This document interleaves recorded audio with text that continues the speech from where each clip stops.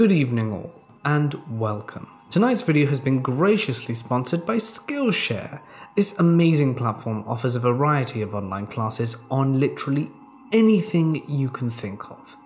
And given the current situation that we're all going through, I think it is a really great time to just start learning anything you want. Brush up on an old skill or maybe something that you might want to pick up. It's a great learning opportunity. Just go nuts. I personally have been practicing my poi thanks to Skillshare for the past few months with the help of Ben Drexler. He's a really awesome flow artist, and if you're into flow arts, seriously good, check him out. The first 1,000 people who click the link as the pinned comment and in the description will get two months for free. That's plenty of time to binge on pretty much anything you want. So go nuts. Thanks, guys. But now, it's time to get comfortable and let the darkness take control.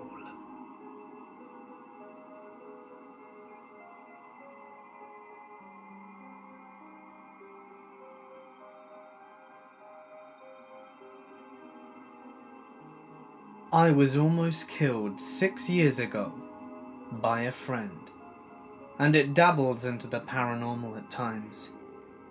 This took years for me to be able to talk about. I'm still dealing with PTSD associated with the event. Six years ago, myself and a male friend called Sam decided we wanted to go camping. I'd known him for years, and he was one of my best friends, so I wasn't weirded out by going camping alone with him. But I decided to invite a girlfriend along. The more the merrier. Rita so we decided to go camping at this spot.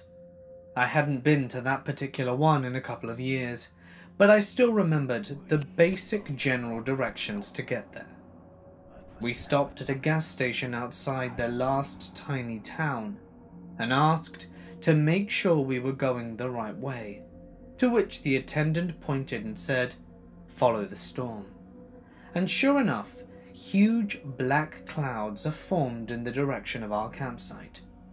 I mean, this was, to date, the most terrifying storm that I had ever seen. What's a story without a crazy storm, right? So we sit in the car and discuss going home, but being the badasses that we are, we decide to tough it out. We all like camping in the rain during storms. Now, we start driving on this dirt road in the middle of nowhere, and as we're getting closer to the campsite, I start getting this horrible feeling. Just horrible. There's no way to explain it, other than I knew something bad was going to happen. We eventually decide to turn around, because the storm was that bad. The lightning was hitting right outside our car, and it seemed way too dangerous. So we start heading back towards town, and the second we leave the forest, boom, no storm. Okay. Well, if the storm is localized in this area, we'll go camp elsewhere. About 20 minutes from our town, there is a reservoir with a man-made lake and a few camping spots in various spots.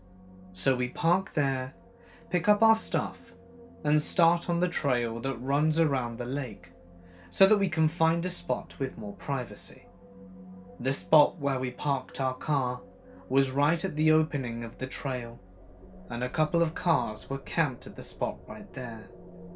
We stopped and chatted casually with them. They seemed pretty cool, so we invited them to head out our way in about an hour, after we'd set up shop, and we'd all play games and drink together. We'd get to our spot, and set up camp, and I randomly get a text message on my phone from another friend. This was weird because cell service is super shoddy out in this area. She is an artist friend of mine, whose stars have risen greatly in the last few years. I explain where we are, and she says, Great. I've been looking for a really big fire recently. I'm on my way. Kind of an odd statement, but artists are strange people, and she smokes a lot of weed. so I don't really understand half of what she says. So, let's fast forward time here for the sake of the story. We are having a great time.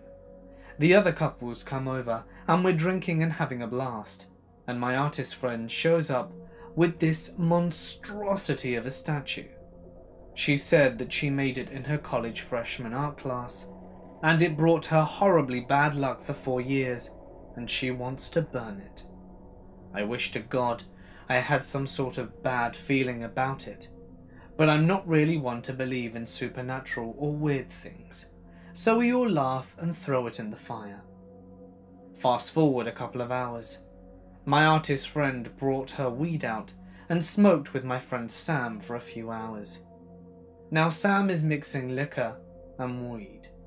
Rita and I don't smoke, and it starts getting dark and the new couple heads towards their camp, and my artist friend decides to head home, as she was not planning to spend the night. So, it was just the original trio left. At about this time, Sam is starting to act very weird. We laughed it off as Cross faded, which nearly cost me my life. It started off with his voice changing, it went from normal to very low, dark, and gravelly. He sounded like a totally different person. Once again, we just think that he's a bit screwed up. Then it gets worse. He starts babbling nonsense. It started off pretty quietly, but got more and more understandable. He pulled Rita aside and told her he worked for the CIA, had millions of dollars in offshore accounts, and could make any of us disappear in an instant and get away with it with no issue. Please keep in mind, this is one of my absolute best friends, and I've never felt the least bit scared around him. We just laugh off the veiled threats. Haha, okay, drunk ass. Around this time, Rita notices that her hatching, that we were using for firewood, had gone missing. We searched everywhere, but it was just too dark. We give it up as a lost cause until sunup. Sam is still muttering dark nonsense to himself, sitting on the opposite side of the fire pit alone. Eventually he passed out, and Rita and I stayed up chuckling about how weird he'd acted, and congratulated ourselves on a pretty fun night. About an hour later, we start to feel raindrops, and the damn storm we'd driven to avoid is getting ready to dump on our heads. Oh well, it's late. We'll get drunky in the tent and go to bed. This is where it gets real. We shake him gently until he moans, and we explain that it's starting to rain and that it's time to get to bed. He struggles up, and Rita and I each grab a side and haul him in the tent. We stop in front of the tent to unzip it, and he goes nuts. Totally out of this world, possessed by the devil himself. I'm not even being dramatic about this. He starts screaming this horrible high pitched sound. One I'll never be able to get out of my nightmares. I was bent over, so I missed the swing that Rita gets thrown to the other side of the camp. He turns around, gracefully I might add, driven stupor gradually gone, and kicks out the last coals from the fire. This is happening in a matter of seconds, but time was slowed down for me. I remember every tiny detail. So the fire is out, the campsite is 100% pitch black. No moon because of the storm clouds. Next thing I know, Sam is standing next to me. So close, I can feel him breathing. And then all of a sudden I'm on the ground. I hit hard enough for the air to be knocked out of me. Not that I'd be able to breathe anyway, because Sam was sitting on my stomach with his hands wrapped very tightly around my throat. He was strangling me with all of his very significant strength. Now, Sam is one of those super tall muscular types that have crazy long monkey arms. I'm reaching up to try and push him off me, as his arms were so long that I couldn't even touch his chest. I was scraping at his arms and bucking underneath him, trying to get him off me. I can hear Rita screaming my name, trying to find out where I am, but at this point I'm blacking out. It seemed like an eternity, but in reality it was probably no more than a few minutes.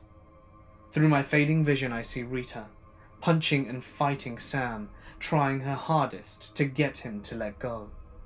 She's a rugby player, so she's pretty scrappy. I black out for a few minutes. I only have Rita's version of the story. But after I go limp, she understandably freaks out and assumes that he's killed me. She goes into overdrive and starts kneeing him in the face. Eventually, she hits him enough times to stun him enough to make him let go, and she pushes him aside and hauls me up, still unconscious, and seriously thought I was dead. And dead weight is no easy thing. Go Rita. I guess I was out for a couple of minutes, but when I come to, she's dragging me down the path, crying quietly. I come to pretty much full force and am immediately on freak out mode. Hysterics, naturally. Screaming, crying, shaking uncontrollably, and Rita is telling me to hush. That Sam hadn't followed us, but we certainly didn't want him to start. I managed to control myself a little, and I managed to start carrying my own weight to walk. Now, to add insult to injury, my flip flops had fallen off during the attack, and I was now walking barefoot on a horribly rocky path. This was not pleasant, and I could feel the cuts. So Rita, being the badass she is, takes off her sandals and puts them on my feet. Seriously, this girl, Jesus.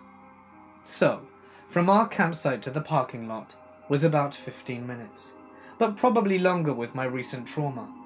But it was still silent behind us. So, it seemed that Sam had been left behind. When we were close enough to the new couple's camp, which was right behind the parking lot, we started screaming for help. The girl, being reasonably frightened, stays in the tent, but the guy comes out to the path to find out what was wrong. We explain the whole attack slash almost died situation, and he pulls out a gun with the intention of walking back to our campsite. Luckily, his girlfriend comes out at this point and convinces him that instead of a murder charge, it would be better instead to get us to cell service so that we can dial 911. We're walking towards their car when we realise there's a camp manager a couple of hundred yards away. Perfect. We head towards that knock on the door, cry hysterically, and explain what was going on. A very nice lady gets us bottles of water while her husband calls the police. They sit us down on their couch to wait, and for some reason, I still remember seeing that there were five deadbolts on the door. He wasn't getting through that door. About half an hour later, about a dozen cops and an ambulance are there. The cops take our story and head up to find Sam asking us if he's armed. We say that we didn't know. They explain the missing hatchet and my knife in the purse. So they go out armed. Rita and I are loaded into the ambulance, and an officer comes to the door before it closes and state that they found Sam. He was still at the campsite, completely naked, bleeding from the minor wounds Rita had inflicted, holding the hatchet and laughing. The officer said he was mumbling about being possessed by the devil and spouting utter nonsense. The officer asked if he had done any drugs, and we'd said that he'd smoked weed and drank. Could the weed have been laced? I doubt it. My artist friend didn't become possessed by Satan that night. The rest is fairly dull. My first ever ambulance ride, a very pricey emergency visit, a lot of drugs, CT scans to check for internal swelling in my neck, and they wanted to keep me overnight, but there was no way I was going to let that happen. My cat is my therapy animal, and he was home. I was going home. End of story. To add insult to injury, when I got home, I realised that because I'd been having roommate troubles, I'd locked my bedroom door with my cat inside, and my keys were still at the campsite. I could hear him meowing through the door while I just soaked my eyes out. Locked on the outside. I was too loaded up on drugs to go anywhere. So Rita, in a final spur of awesomeness, went with her mother, who worked with abused women and helped me through many a panic attack after, went out and retrieved all my stuff. All of us are at 24 hours of no sleep. That's the story.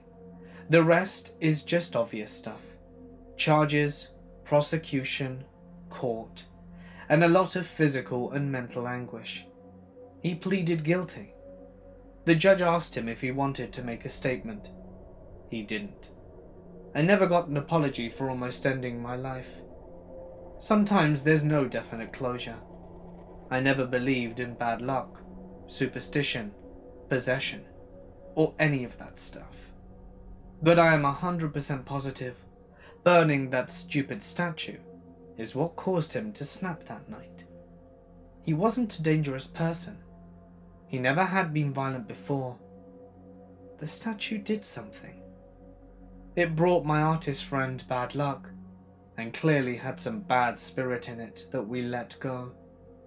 That's the most detailed account that I've ever given about this incident. I love waking up in the dark and walking the sunrise with my dogs. I didn't intend to own two huskies and a German Shepherd mix, but they each found me and I couldn't turn them away. We usually jog about five miles daily, often in the neighborhood. But nearly as often, I load us up into the van and drive 10 minutes to the wooded metro park. I love it there. They offer some trails that allow quads and motorbikes, some cycles and skis, some just people and last year they opened a new one that allows pets. It's a five mile loop into the area farthest from the city. We live on the northern edge of town, but in the dark, with no leaves on the trees, you can clearly see the red glow of the CVS sign for most of the hike. These are tamed woods, with asphalt paths and concrete fire pits and rangers patrolling regularly. And the hospital behind CVS means there's emergency medical care in walking distance. I was up coughing again in the night. I had a serious case of pneumonia two months ago and was not fully recovered when this sinus infection hit me. I'm past the fever part so we're walking again, but not yet jogging.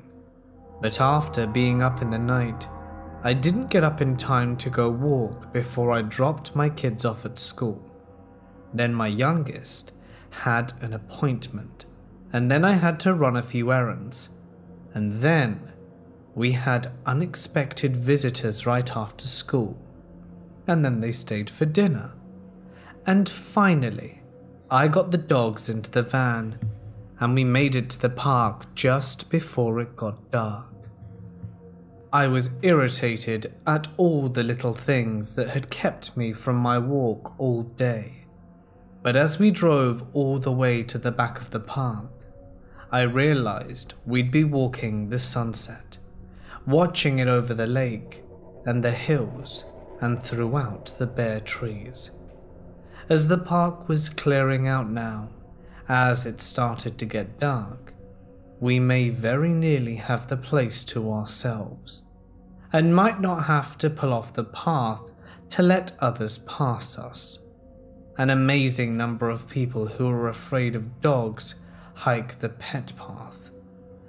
All those little irritations had led up to this singular moment of beauty I would not otherwise have been able to appreciate. This was going to be a really good walk.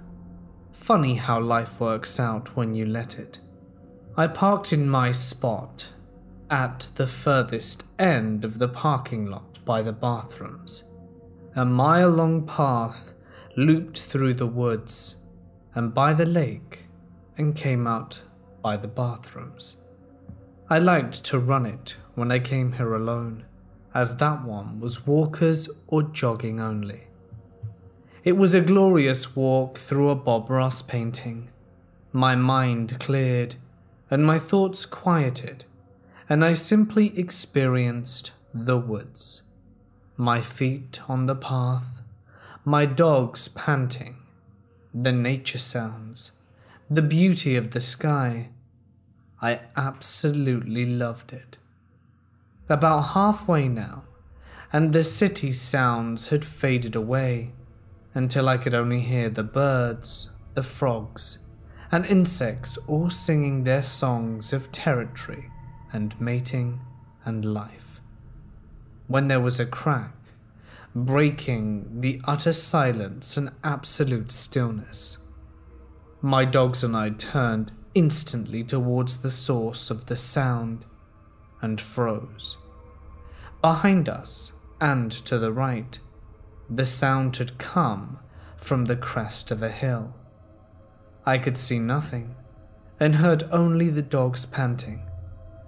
I waited for the nature sounds to return, but they did not. All three of the dogs slowly raised their ruffs, fur standing on end around their shoulders and neck tails held tall and proud, making themselves look larger and more threatening. I took a step towards them, and the female husky, the leader of my little pack, instantly put her ears back and her head down and pulled me to the path. All three of them left their tails and ruffs up, but the two males also put their ears back and heads down and began to pull me. So off we went. The woods were still silent. We must have startled a buck on the slope of the hill and not seen him. And after we passed, he leapt up the hill and jumped a dead tree, and his hoof hit a dead branch, and the branch broke, cracked, and scared everyone.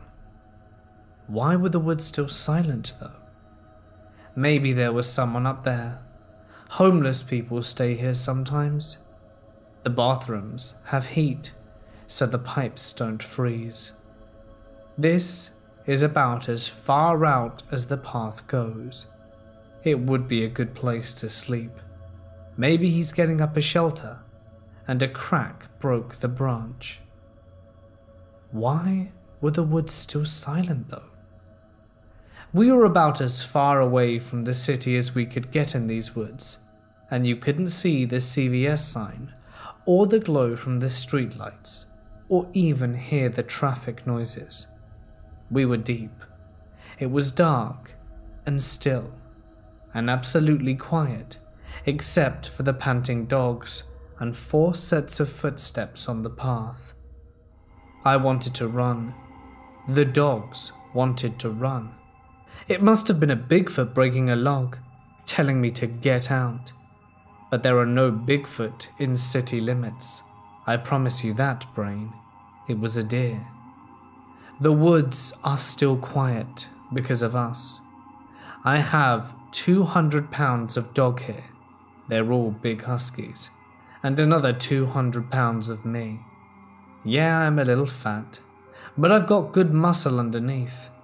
I have broad shoulders that don't fit into women's shirts, and big hands that don't fit into women's gloves, and can lift a hundred pounds over my head. We are the scariest thing in the woods. There are no bear, there are no wolves, and no Bigfoot. There are deers, there are foxes, and there might be an angry raccoon, but we are the biggest, baddest, scariest thing here. Unless there's someone with a gun, my mind says. Shut up, you're not helping, Brain. The dogs had not stopped once to sniff or mark. Heads down, ears back, tails and ruffs still held high. They just wanted to go. We'd gone almost a mile now, me craning my head the whole time, trying to see as far as I could in all directions, while letting the dogs pull me down the path.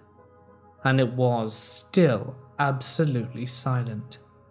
Not an overflying goose, not a cricket. Nothing moved. Nothing made a sound, except us. Here came the third and longest of the three steep hills on the trail. I had been running these to rebuild my strength and endurance, but if I ran this, I'd be blown at the top. The top where it curved around as it crested, and you couldn't see anything past the thick trees. The top, where if you were deeper in the woods, you could follow a more gradual ridge up to the crest of the hill and wait unseen for someone to come up the path. Ambush. It was a deer. Turn around. It was just a deer. But what if it's behind us? It's an ambush. Is it a deer? Do they have a gun? And this is why I ran. The noises in my head were unbearable. Up the hill, I walked. I pay attention and I watch the dogs. They were still on alert but did not hesitate to go up the hill. In fact, they wanted to go faster. Just walk, don't get smoked. Be able to run or fight if you have to. I'm scared. The woods should not be silent. The dogs should not still be on alert. It's not a cat or a bear or a wolf, and I really doubt it's a Bigfoot. It could be a person. So let's be smart, just walk. We are not good prey. The dogs will protect me. The huskies might not alone, but the shepherd will, and they will follow his lead. Be smart. Get out. All I could think to myself. There was only another mile now until the lake and the first parking lot. Then another half mile along the lake to the second lot, where my van was. Hearing traffic noises now, but still no birds, no crickets, and no frogs. The smell almost stopped me in my tracks, but the dogs kept pulling. Sour and grassy, and oddly metallic. And shit? Shit and blood? And partially digested grass? I smelled the contents of a deer's stomach. Someone hunted in these woods. And the dogs were not interested in the smell. We ran I don't remember much of that last mile. We just ran. Denza, the big female husky, finally stopped to drink some lake water as we came out by the parking lot. Then she began to sniff and pee, the boys following her lead. There was a single truck parked. I relaxed quite a bit, but still felt on edge. Down the lake in the parking lot, I could see headlights they must be parked at the turnaround at the end of the lot closest to the lake, as they illuminated the lakeside path. They were watching us. Halfway to the van now, and the car drove away. Twenty feet from the van, I heard a motor coming down the nearest path. I decided to put the dogs in the car on the driver's side instead of the passenger side like normal. The sound of the motor came closer. The leashes caught on the armrest, and I had to untangle them before the dogs could jump into the van. The motor came closer down the path. I had to be gone before it came out. I knew it with absolute certainty. Finally, the dogs were in. I slammed the door and jumped in the front, fumbling for the lock button, shaking hands, unclipping the keys from my jogging belt and starting the car and gunning it into reverse. And, as my headlights swept over the entrance of the path by the bathrooms, they lit up a four wheeler, coming out of the woods. I was dropping the transmission into drive and hitting the gas, and as my brain processed what my eyes saw, it informed me that there was something across the handlebar. A gun? A deer carcass? I couldn't tell because of the angle when pulling away. I couldn't see him in the rearview mirror. Very early on a cool, dark, moonless morning in November, I eat breakfast quickly with the friends I'm camping with and hop into my car to head to my hunting spot. We're bow hunting in southern Ohio, an annual tradition, camped on a high bluff in sight of the Ohio River. On chilled fall nights, with a blanket of stars above us, and a fire pushing a cloud of smoke to the sky, we can see the lights from barges moving slowly up and down the river. At this place, for four days, we are in a different world, hundreds of miles from the bustling and familiar cities we've come from. Not that these thousands of acres of woods aren't becoming more familiar over the years, but what brings us back is the unknown. I drive out of the camp alone, down a paved road for several miles, then turn north, away from the river up a dirt road meandering through one of the thousands of hollows rippled across this landscape. I'm exiting cellular service, rolling along a winding road following a creek bottom, a deep valley with a large hill ascending on both sides. But I can see nothing but the grey glow of the gravel and the trees and shadows dancing in my headlights. I pull off the road as far as I dare and park an empty gear from the car. All is quiet as possible. Everything from this point is prepared and navigated with the light of my headlamp, set to the dimmest setting. I close the car door with a gentle nudge, avoiding any sound that would intrude too deeply into the forest. Before the hike, I pause breathe in the cool fall air, and assess my surroundings. Totally black, and with very little wind. Dead quiet. I'll have to be exceptionally silent on my way to avoid detection. I stalk down a hill and cross the shallow creek, each step slow and deliberate. Feet searching first for any stick that might snap under my weight. Carefully, I wind through a narrow trail that I've partially trimmed through the impassable thicket of briars and brush that runs along the creek. At the base of a tree, I prepare a stand, used to ascend the tree for the hunt. Inching my way up the tree, I see nothing but the blackness, watching only the texture of the bark pass directly in front of my face. Once in position, at about 20 feet, all activity stops, and I disappear back into the silence of the woods. Every few minutes, a sip of coffee. Just as the sky begins to provide enough light for me to see my surroundings, shooting light it's called, well before the morning sun will appear, I hear a crackling and rustling ahead from down the hill, at maybe a 150 yards. Is it a deer? If so, it's running. But why? During the November rut, white-tail bucks are known to chase does for long distances through the woods, desperate for a breeding opportunity. I've seen this dozens of times.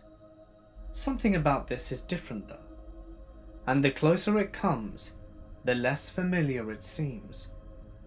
Only several seconds pass and the animal is in sight. Or maybe it's more appropriate to say that the exact location of the sound is now apparent, because I can't determine what I am seeing, or if I am seeing anything at all.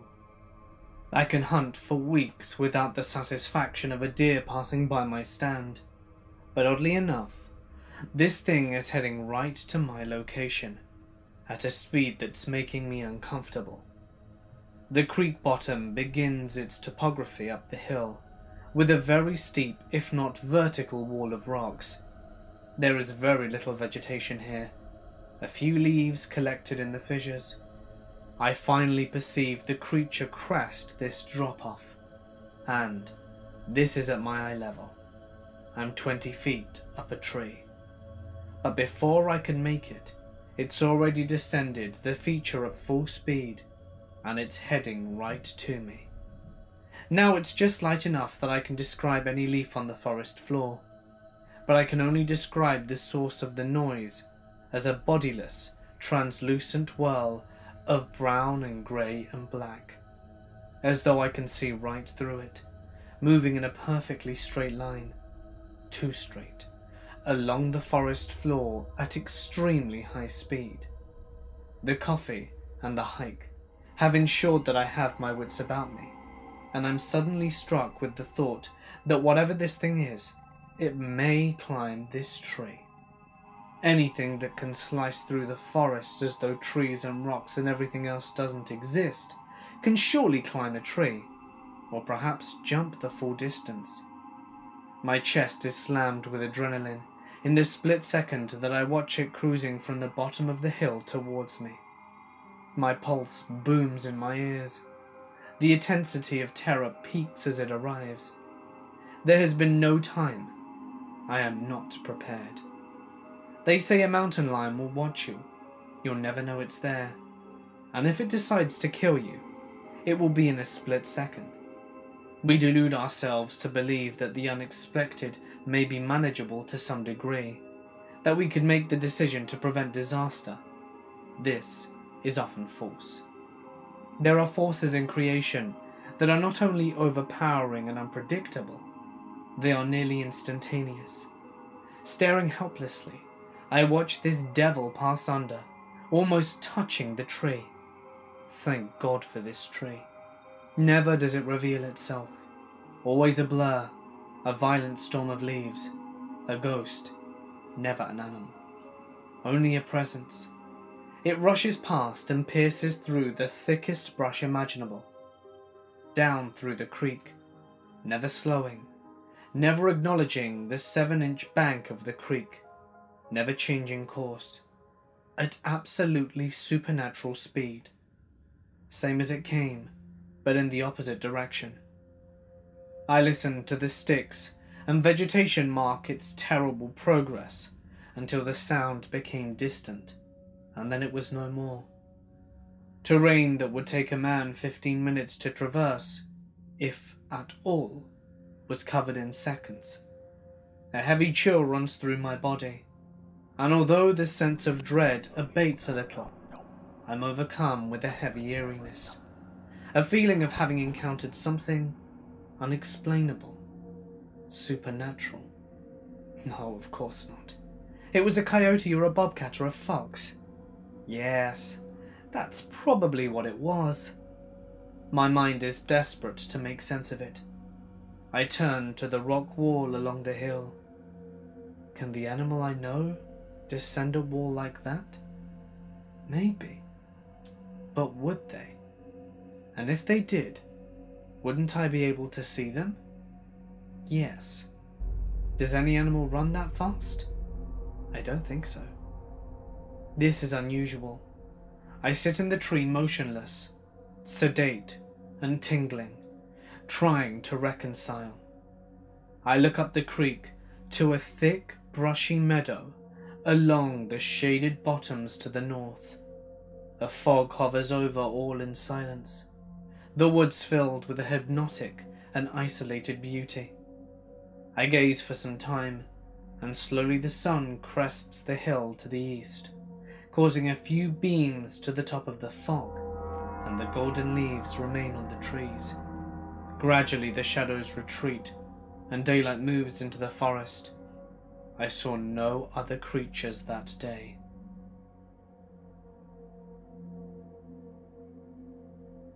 As most teenagers are, I was pretty reckless with my own safety.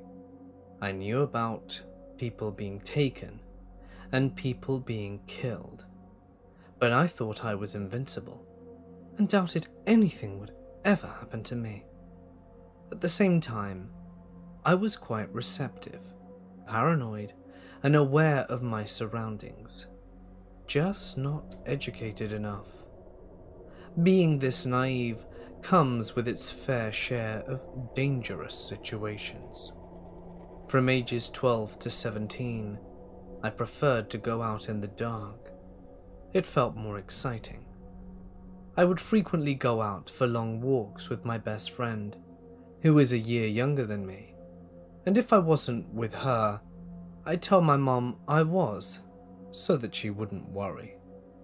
We never really had specific destinations, I just loved to walk. And, at the latest stages, despite my previous experiences, I would walk town to town, frequenting particular benches or deserted places. Stupid, I know. This experience I shared with my friend when I was around 14 and her 13. One of our regular daytime spots was a well-known area of my town, hard to miss. Huge chalk hills and woods with miles of fields and farm. A very strange sight amongst the businesses homes, council estates, miles of roads and shopping centres surrounding it. As you can imagine, a beautifully quiet place to visit to get away from the rush and mounds of other humans, and instead watch it from afar. It tended to only be dog walkers and the occasional jogger that frequented these areas, and apart from teenage parties, which were few and far between in this area of the hills, I'd never heard of much crime occurring here. One evening, we walked to a park we liked to chill in. I cringe thinking about this place too. It was huge and fenced in behind lines of houses, and was locked at a certain time each night. It was the most remote and lesser known park in an area that had many of a similar size, mostly due to being hard to find, and it held an even lesser known passage to the hills. We hung around in the park for a bit in the darkness of winter, got bored, and decided that we would go for a stroll across the fields, maybe even try to get into our little den that we had built there one summer, for some much desired adrenaline. From past experiences going with groups, there were rarely ever people there after dark. Probably because it wasn't very well lit. We took the path and joked around on the field under the hills, wandering around, when we noticed a short, stocky man with a limp in the distance. I instantly got a strange feeling about him, and it wasn't my usual fight or flight anxiety I got with your regular human.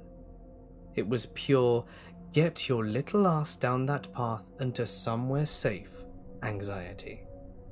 He seemed to stop and turn around and walk a bit, and then turn back towards us and walk a bit closer, then change his mind over and over, and then he stopped again and turned towards us, and as if on a mission, headed in our direction. We headed straight for the path. We started slow, nervously giggling, and looked behind ourselves and realized this man was really gaining despite his limp. It just didn't feel right at this point, so we ran. We ran through the unlit park, which at this point had multitude of bats flying across, just to add to the allure of it, and we looked behind us. He was still following. When we were at the gate exiting, he just started to cross the grass. Now this wasn't the only way to the main road. It was muddy and dark and occasionally locked, but in our worry I don't even think that crossed our minds. Looking back, most rational thinking adults probably wouldn't go this way behind two little girls. They'd follow the path that went around the outside one instead. We went this way, because to us it seemed the quickest, and already in an unsafe situation. It didn't seem as dangerous as this stranger catching up. We ran down the road, crossed the traffic lights, and slowed down. We were next to a pub, so we felt safe. We rationalized it. I mean, it could be a coincidence, as he was just walking in the same direction as us. But at the same time, we still wanted to get home without him knowing where we lived so we continued forward at a fair pace. Again, looking back as we walked, this man was still staggering after us, and he looked tired. Why didn't he slow down or stop? Nothing added up. We were down a dark, empty road, and were unnerved once again. It was about three quarters of a mile until we got to some 24 hour shop, so we decided we would run it.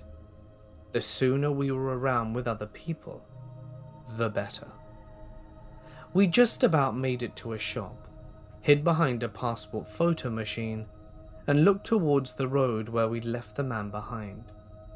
In these few seconds, I felt rational again, and imagined that he would just continue his rushed walk all the way to his home. But instead, he stopped at the crossing and inspected the roads. He was looking for us and looked every way we could have gone. He was searching for something, and it certainly wasn't a car. He decided on a street, and as fast as he could drag his dodgy leg, he attempted to trail after us. Me and my mate were shaken.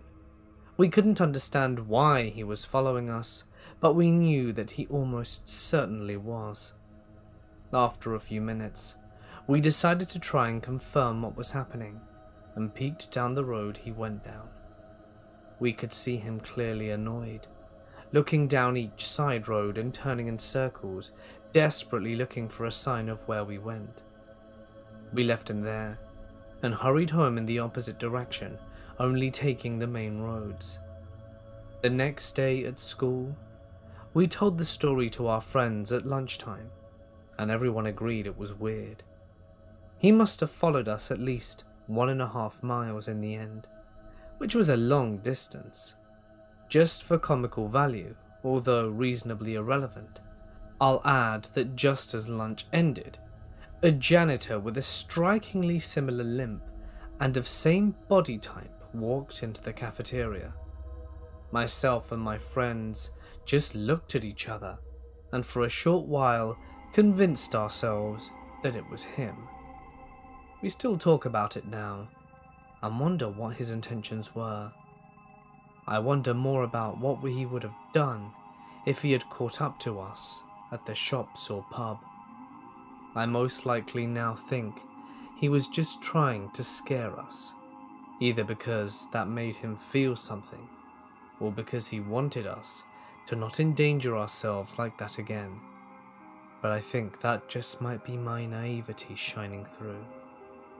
I can't say I was a lot more careful after that experience, but I am glad to still be here and much more educated and aware now. All I can say is, I never went back to those hills after dark and wouldn't recommend it either. I work as a broadcast engineer, and a few years ago, I received a phone call at around 9.30 10 pm from the on-duty engineer that our over-the-air signal had gone out, and we were off the air on our over-the-air platform.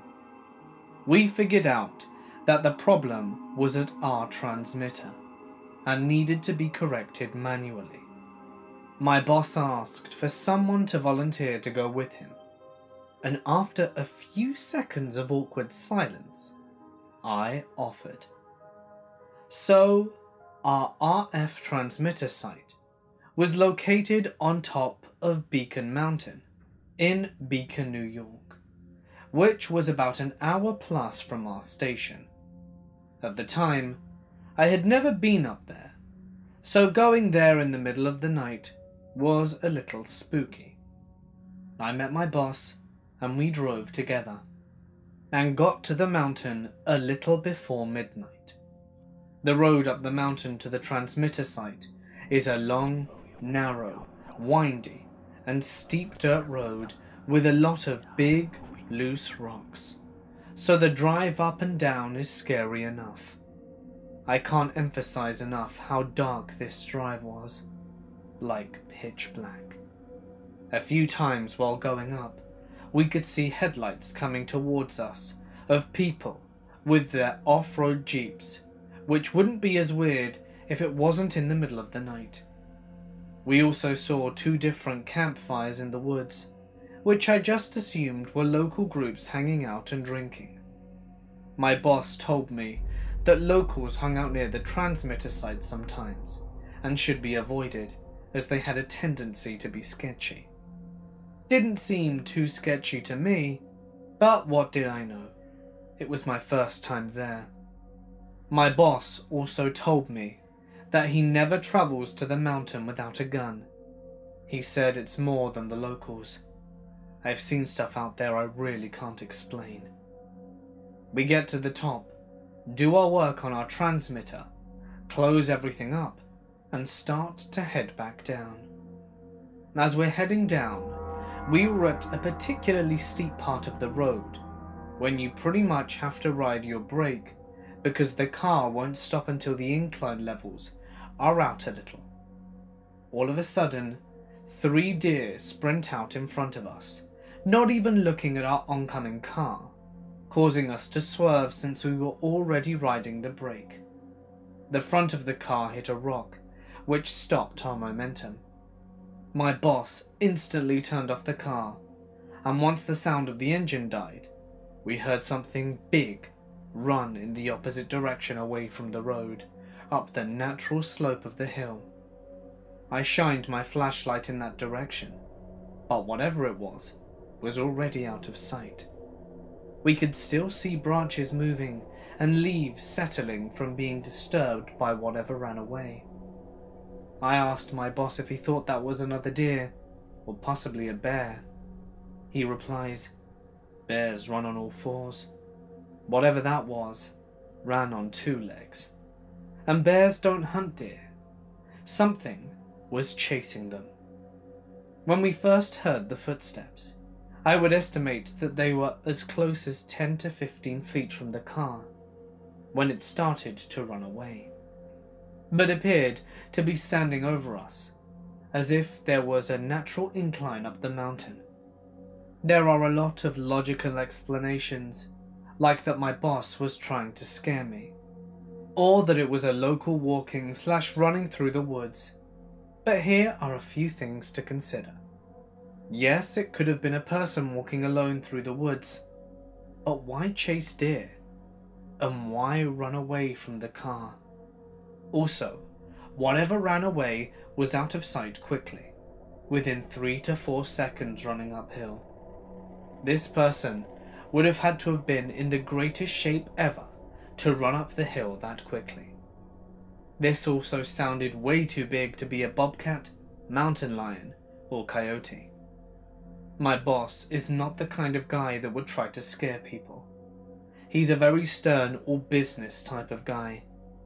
He seemed pretty rattled by this and wanted to get off the mountain ASAP. I ended up going back up that mountain many more times before leaving for a new job, and I never saw or heard anything like that night. However, I never went back after sunset. I no longer work for this company, and this company no longer owns the transmitter site, so I will likely never have a reason to go back. I don't know of any reported sightings or experiences in the area, but I do know that over the years there have been many car accidents on the road. I assume all the accidents are due to the poor conditions of it, but honestly, I have no idea. This happened a little over two years ago. I'm a 31 year old male, 5 foot 11, and was pretty athletic in shape at the time. I worked out, went running, and ate right. The city I live in has about 300,000 people. There are tons of parks and forests with hiking trails all throughout the city itself, and the city is pretty much surrounded by woods and farmland past that. It was fall time during the year, and occasionally, on my days off from work, I like to load up my backpack, just grab my stuff for a kind of urban hike, and take off walking across the city, hiking through a bunch of different trails and parks along the way, stopping and grabbing coffees at cafes, beer at pubs, and doing whatever just floated my boat. Those were the days. Sometimes I would take my dog with me too, but on this particular day I had taken off and left them at home. I remember loading up my backpack as usual. Sometimes I would take my dogs with me too, but on this particular day I had taken off and left them at home. I remember loading up my backpack as usual, rolling a couple of joints up to take for the journey, and getting ready for leaving. For the entire week, it had been raining non-stop, and with it being so late in the year, somewhere around October, it made it pretty cold outside, even though there wasn't snow on the ground yet. I put on my winter jacket and hat, but still kept on my hiking athletic type shoes instead of any kind of boot, and I had already walked across most of the entire length of the city into the side where it would be the town exactly opposite from where I live. This area is not especially nice, but I've never had any problems or bad experiences myself, even living in the area for a few years beforehand. On the very edge of this place is a big nature conservatory that basically runs along the outer edge of the city. So I start hiking in this area of trails after maybe 10 to 15 minutes of hiking, and I decide to blaze up one of my smokes I walk along listening to jazz through my headphones when I finally finish my joint. I've seen no one else out at this point, which is expected as it's a bit damp and cold. But after maybe five minutes from finishing up my smoke, I turn around a bend of trees and see another guy walking down the same trail as myself. It's maybe 45 seconds until we pass each other. I turn down my music and get a good look at this guy. He looked homeless, which isn't too uncommon in this area, but he had mostly grey hair with still some spots of brown, but dramatically thinning even though it ran down to his shoulders, an a patchy beard that was coloured the same. He had a green type jacket on and some dirty jeans, just looking like a dirty alcoholic and rather unpleasant in general but who am I to judge? The guy looks annoyed, and as we're getting closer to each other, even though I'm looking directly at him, he never makes eye contact with me the whole time. He looks like he's almost mumbling or pouting or saying something under his breath. But as we finally pass each other, he still doesn't acknowledge me. So I didn't feel the need to say anything either, and just kept going my way. I don't really think too much about it and continue walking. But before he turns around the bend of trees that I had just come from, I turn my head back towards his direction and take a look at him, only to see him doing the same to me already, as he's still walking. Our eyes connect, and I don't break eye contact even though we're about 40 yards away from each other now. I'm just kind of like, hmm, weird, as I continue to walk and turn my music back up. The more I think about him, the more I weird myself out. But then I tell myself that I'm being paranoid because I'm high, and continue to go about my business. I'm hiking along for about another 10 minutes or so, listening to jazz really loudly in my headphones, packed underneath my thick winter cap when I'm walking along a part of the path and trail, where it's a little steeper of a decline off to my right. About a little 10 foot muddy hill type drop. I remember listening to John Coltrane, so the songs are really long. And it was just by luck that a song had just ended, and there were a brief few seconds of silence before the next song played, when all of a sudden I heard footsteps running behind me. I span around to my left as fast as possible when the guy from before was directly on top of me. What happened next seemed like it all happened in a matter of seconds. But just fortunately, it seemed like I was in the zone when it occurred. As I spun around to my left, turning around, the man was there immediately. I basically grabbed him by the shoulder with one arm and his coat with the other, and we both go over the edge of the trail down the slope. I remember rolling down the slope completely twice on my shoulder, still backpack and everything on, and somehow landed on my knees and was able to get into a sprinter's position and run right out on the landing. Already running at full speed by the time I even got back up, I didn't even hesitate and look back as I bolted in a straight line through everything. At first, landing and running, I was maybe 15 yards away when I heard the man yell twice to stop. The area that we had fallen down into was basically a muddy, wet marsh after all the rain. I didn't look back once. I was sprinting as fast as I could for about 10 to 15 minutes before I ran into a chain link fence separating someone's backyard from the nature preserve.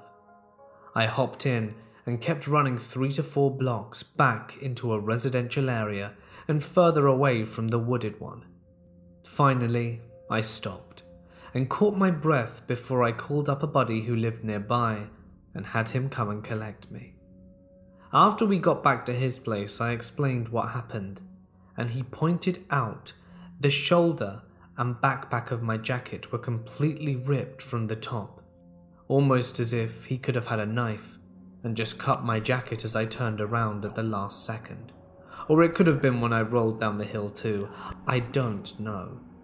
Either way, I hope to never see that psycho or experience anything similar to this again. From 2012 to 13, I did a lot of hiking in and around the coastal range in Oregon. I frequently would go out by myself for days and come into town to restock on food if necessary. It was commonplace for me when I was in town to spend the whole day hiking back the four hours to where I was camping at dusk. The trail I took wasn't well travelled and looked more like a deer path than anything. I had chosen my campsite for its lack of foot traffic and its serenity, avoiding conventional locations. I had only a cell phone on me during this period of hiking and camping, and no bright clothing. No GPS tracking device and or emergency beacon. Probably wasn't the smartest idea looking back. There were times that I heard and saw things while out in the forest that I didn't recognize by sight and or sound. But nothing came close to the incident I had in May of 2013. I had done my usual restock in a small town some six miles from where I had decided to camp for the night, and I spent the day in town as usual. I started walking back to my camp location about dusk. Half of the walk I chose to use dirt roads until veering off on the deer trail I used earlier in the day. By this time, it was completely dark, but it was clear out and possible to see the trail still using the moonlight. I don't listen to headphones while hiking. I've always thought it's wiser to be able to hear whatever is around you, in case there is a predator, whether human, animal, or whatever. I was mentally doing some calculations for the next day's hike, when my mind is literally stopped mid-track. I hadn't heard anything, and I don't make hardly any sound when hiking. If I had heard something, I would have known. For some reason, be it a sixth sense or survival instinct, I'm not sure, I was jolted quite suddenly, out of thought, and very aware of the fact that I wasn't alone on this trail. What was odd to me especially is even though I had heard nothing whatsoever, I knew acutely that something was behind me, specifically about 30 yards down the trail. I still to this day have so many unanswered questions about how I knew this. Standing really still, I turned around and looked down the trail. I didn't see anything, but I felt it. It honestly really is difficult to pin down how to describe what I felt, because I hadn't felt that way before or since. It was straight up fight or flight, and my logical mind was saying there's nothing out of the ordinary, while my senses were saying to get the hell out of there. Again, looking back and remembering this, I have no idea what to say. This is really hard to explain. It was like I was being taunted, and I felt it. The presence of something, or someone, was down the trail, and for some reason, I knew that it knew that I knew it was there, even though I couldn't see it. That's what still scares me to this day. It knew, and it was bright enough for me to see down the trail 30 yards back no problem. There wasn't anything on the trail, and I will swear by it. It was like I was being taunted, or beckoned to come closer. This was maybe 30 seconds into looking down the trail, if that. I was panicking, but I still wasn't sure what to think, because I still wasn't seeing anything threatening. So I turned around and started walking at a quick pace. I didn't know what else to do. I knew that if in fact a guy was out to kill me, he was probably going to end up killing me. On this trail, or in my tent after following me back to it. So why run was my logical thought. I would say that I wasn't even a minute into the trek back, that I heard what can only be described as a sound like rushing or swooping air, followed by what seemed like a rake sliding across the dirt trail. The former sound happening right after the latter. These sounds happened together, like half a second apart, four times, and they were very close, maybe 20 yards back. Looking back now, I don't know how I was able to stay composed and not soil myself. But somehow I mentally stayed focused on getting back to my tent, ignored the panic, and just kept walking quickly, not looking back. Whoever or whatever it was still followed me the majority for the next hour. I just kept heading onwards and didn't look back. A few minutes from my camp location, the fight or flight feeling gradually but succinctly left, and I crawled into my tent and didn't sleep a minute the entire night. Morning came. I picked up my stuff and left. This happened around three years ago, when I was away from school on a trip. The trip was for younger students. A few people from my year in school had been asked to go to help look after the younger children. To give perspectives, I was 14 when this happened. I was about 5 foot 2, female, and probably weighed less than a hundred pounds. One particular day, the children were doing an orienteering activity in the woods, basically using a compass to follow a trail to find your way to the end of it. It was the third day into the trip, and by this time a group of four boys, who I now know all have severe behavioral problems, had taken a liking to me for whatever reason. Therefore, when the children got asked who they wanted their chaperone of the group to be, they chose me. We started the activity, and for the first 10 minutes, the group of boys seemed to be doing what they were supposed to do, and I could see other groups from my school in front and behind us. So I thought everything was going fine. The woods that we were doing this activity in were huge. I had no experience with using a compass, and neither did the boys in the group. The boys I was looking after quickly became disinterested with the activity and started to run in random directions, climb trees, etc. After around 40 minutes of chasing these boys in random directions through the woods that I'd never been in before, I realized we were completely lost and expected to be at the finish line soon. I began to panic. I was only 14 and had been put in charge of younger children. Therefore, I knew I would be held responsible for getting them lost.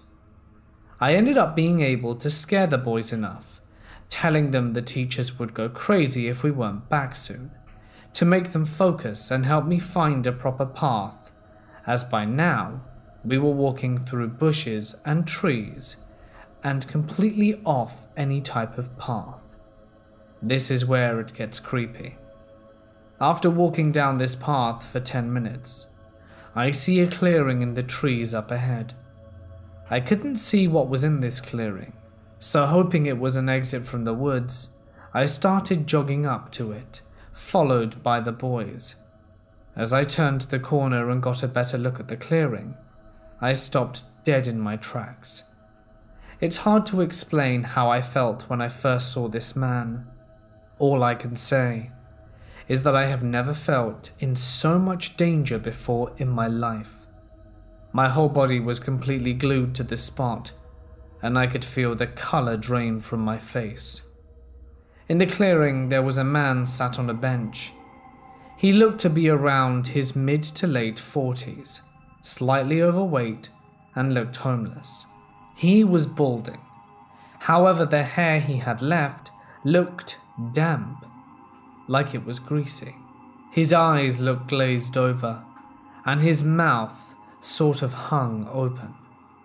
That's when I realized on closer inspection he had red stains all around his mouth. It's hard to describe this man, but the vibes I got were pure evil.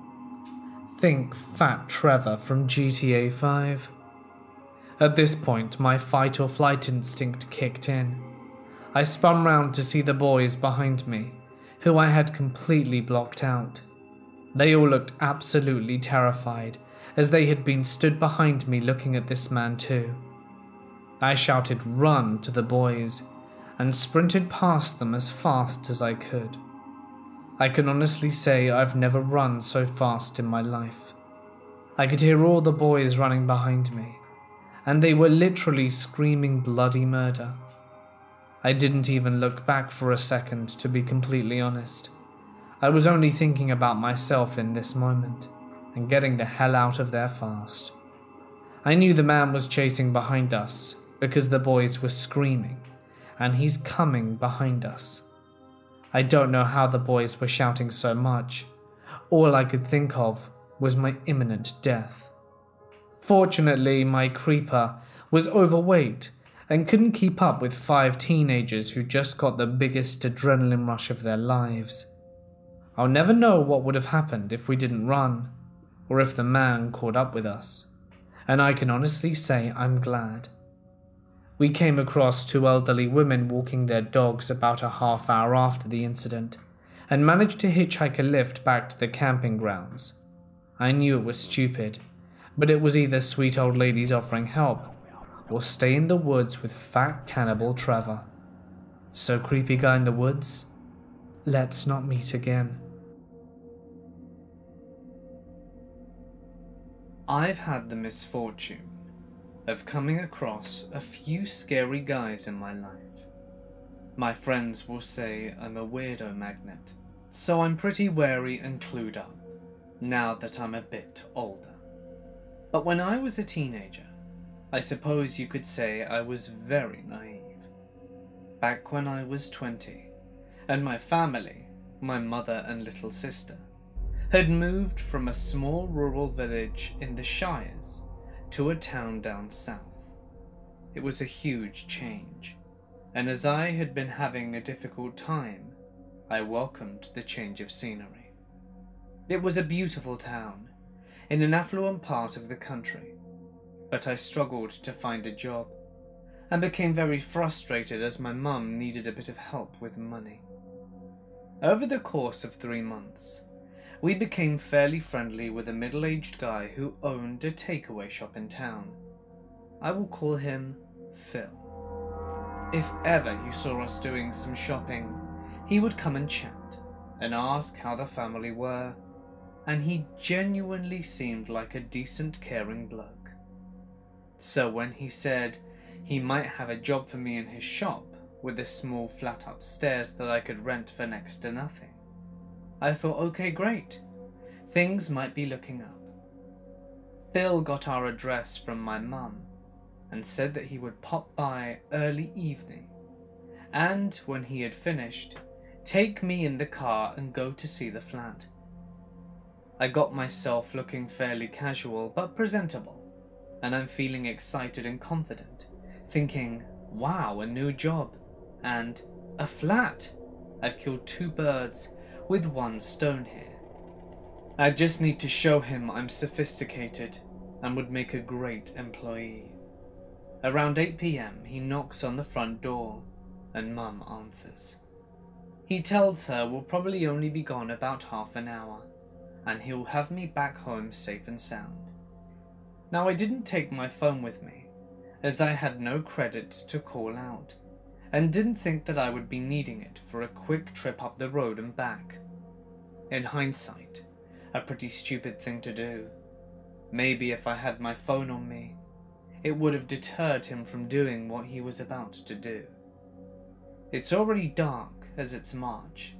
I get into his car, and we start driving, and he's chatting away and asking how I am, and telling me what the flat is like when within a matter of a few minutes, I've noticed that we're not taking the conventional route that takes us directly into town. At first, I think he's taking me down some shortcut, round the town to get to it quickly, and I reason with myself that he knows the area well, and I do not.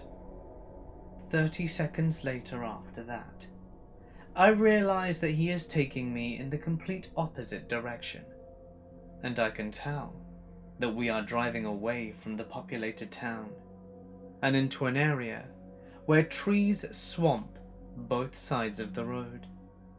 My brain is now working overtime, thinking where the hell is this guy taking me? And I just about to manage to keep my composure and ask him outright, Where are we going? Town's back the other way. I just thought it would be nice to take you on a little tour it's beautiful here, many forests and beautiful places.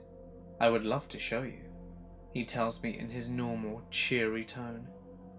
I wasn't capable of saying anything at that moment, because the logical and the reasoning side of my brain were at full-blown war. I'm trying to keep calm, thinking, okay, he seems fairly normal. Why wouldn't he want to show me around? It is a stunning area full of natural beauty. He's probably proud to show me where he lives. The logical side, however, disagreed, and a wave of panic overcomes me, and a little voice enters my head and shouts, What's in the dark? No, you're stupid. So I just sit there in silence, taking in the scenery which is becoming more sinister by the second, because at that moment in time, I didn't know what to think. All I know is every cell in my body is screaming at me to find a way out of this situation. I started looking for a signpost, houses, any distinctive landmarks, ditches, huge trees, anything that I would be able to use to recognize my way back if I had to bolt from his car. Phil can obviously sense I'm nervous, so is just talking away at me about what the job is like and how his staff are friendly. And before I know it, he has slowed down to a crawl and has turned down a little mud road with a dense tree line on one side and pitch black open field on the other. My stomach literally drops, and my body contemplates power vomiting all over his car, because the reality of what is potentially about to happen hits me like a freight train.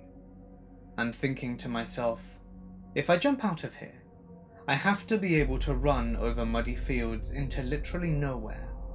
But my imagination starts rather helpfully flashing by images of him grabbing me before I get a chance to get out of the door. So I sit there, buckled in the passenger seat, not saying a word. I just think to myself, if he attacks me, don't make a sound and don't give him the satisfaction of showing I'm scared. My brain was about as useful as a chocolate teapot, and I was starting to get angry with myself for not doing something, but I was terrified. We come out at the top of this little dirt road, and there is a tiny little car park surrounded by woodlands with one car sat in it. It's clear that the people in there were doing it. As he pulls near the car, I realize that he has brought me to a local dogging spot. He turns to me, puts his hand on my knee, and says, We should do what they are doing, with a deadly serious expression on his face. I make this bizarre, half nervous laugh, half garbled high pitched whine, and try to laugh off the suggestion to show I'm not into it and super uncomfortable right now.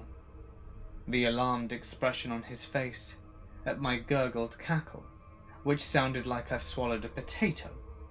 Whole clearly freaks him out, and I'm mentally congratulating myself for my socially awkward and grossly unsexy reaction. It'll be fun.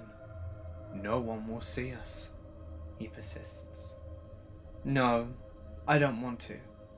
Plus, I'm kind of seeing someone right now. I lie. But he sits there just smiling at me, like a Cheshire cat like I'm going to miraculously change my mind at the sight of his weird face. Mum will be expecting me home now, I tell him after an insanely uncomfortable 30 seconds more, as I try my hardest not to make eye contact. I'm sure she won't mind you being out a bit longer with me. You can trust me, you know. He tells me with a straight face, as we sit next to the sex wagon parked next to us. I sharply pull my leg away from his grip and tell him again. Mum is waiting for me, and she will start panicking if I'm not home in the next few minutes. Take me home.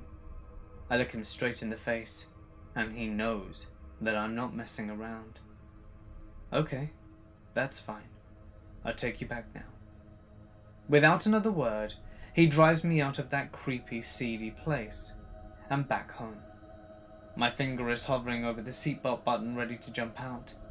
As we pull up outside our home, I breathe a sigh of relief, and I can see my safety literally a few feet away. And before he can stop me, I mount and slam the door behind me. As I'm stepping over a tiny little rope fence around our garden, he gets out of his car, and my heart starts to sink.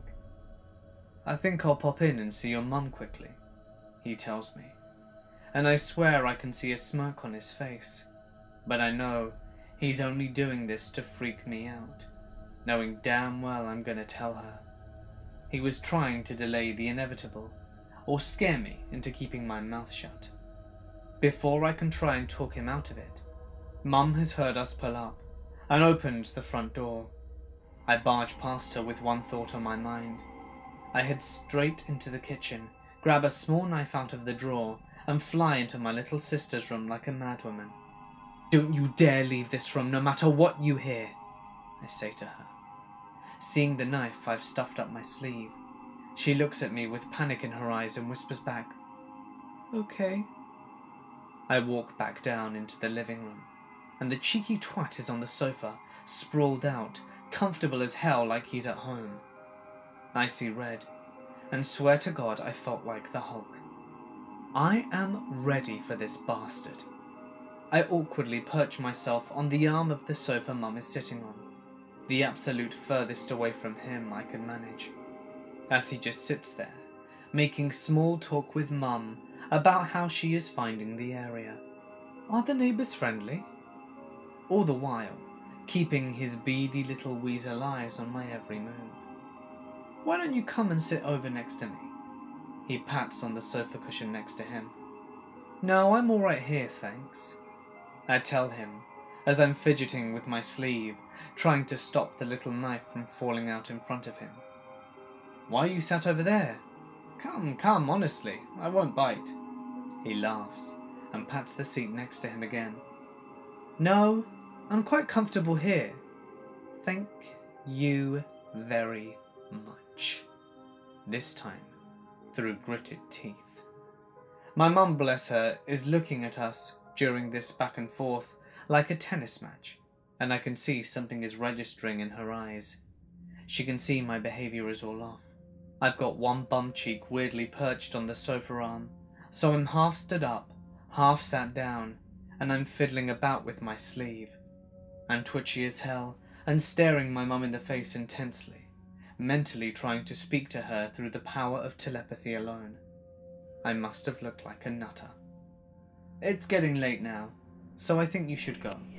She finally speaks. Mum is starting to look anxious now, as she has finally twigged on that something has happened. Phil gets up, agrees, and mumbles something about having to check about his shop. When he walks by me and is nearly out the room, he pauses and turns to me to shake my hand. I'm thinking to myself, what a weird thing to do. I take the opportunity to kindly offer him the hand that had the knife, taking it a bit more with force than is polite to, and he soon yanked his grubby mitt out of mine when the tip of the knife blade had jabbed him. He looked down, saw the blade, and looked at me. I looked at him with such disgust. Phil hightailed it out of home as fast as he could without a word. A prick for a prick. I told my mum everything, and she was fuming. We did discuss going to the police, but there wasn't really a crime committed on his part, aside from being a major creep. Sadly, when I mentioned to a couple of girls my age who lived down our street, they clammed up and shot each other a strange look. I guess he had probably done this type of thing before. We moved away from that area after, so I'm glad I never have to see his smug face again.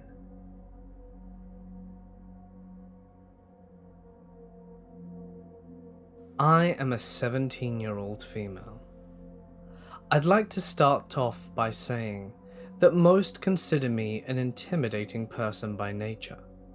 My close friends don't really believe that, but they know that I most definitely do not mess around when it comes to certain situations, whether it's telling someone to piss off, as much as I hate to admit it, or getting physical with someone.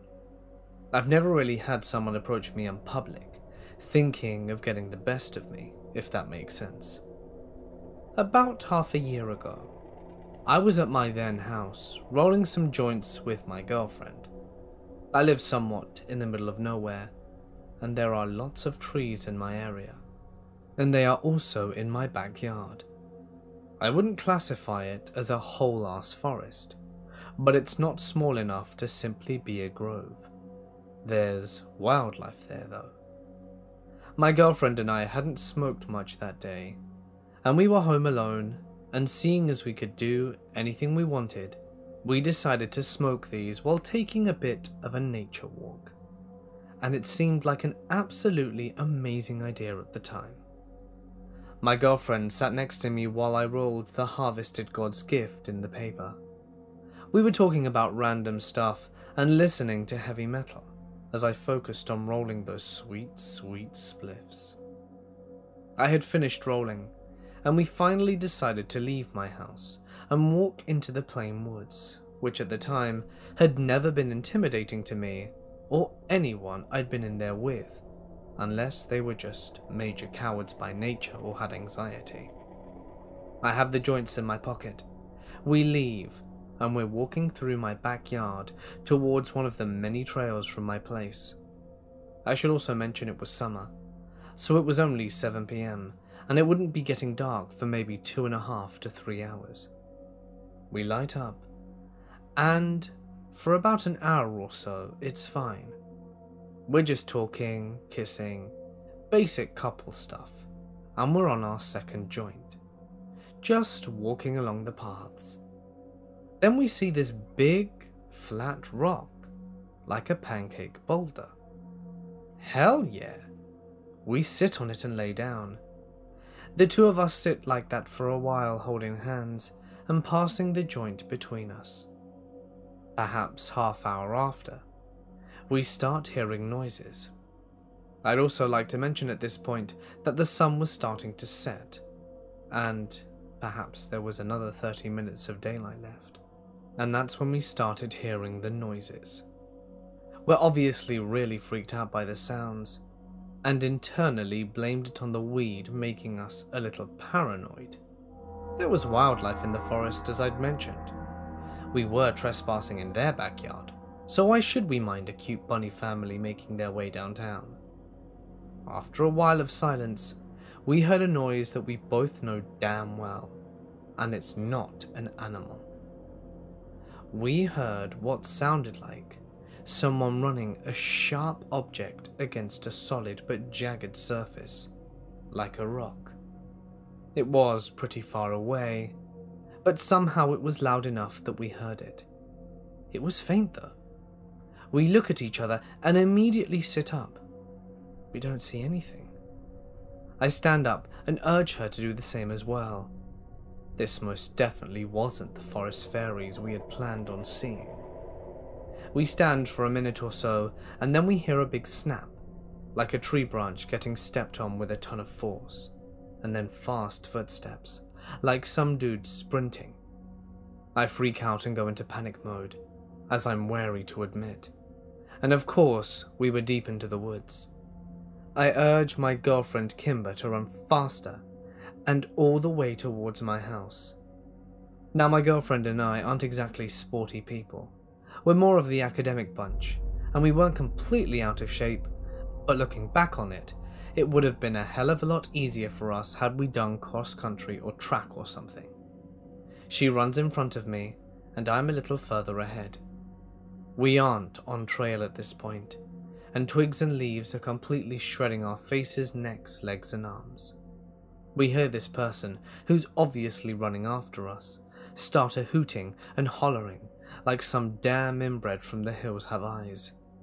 That makes us soil ourselves, and we run faster. We're sprinting, huffing and puffing like fat kids during the mile or something. The person is unfortunately closer at this point, and I look back and see him.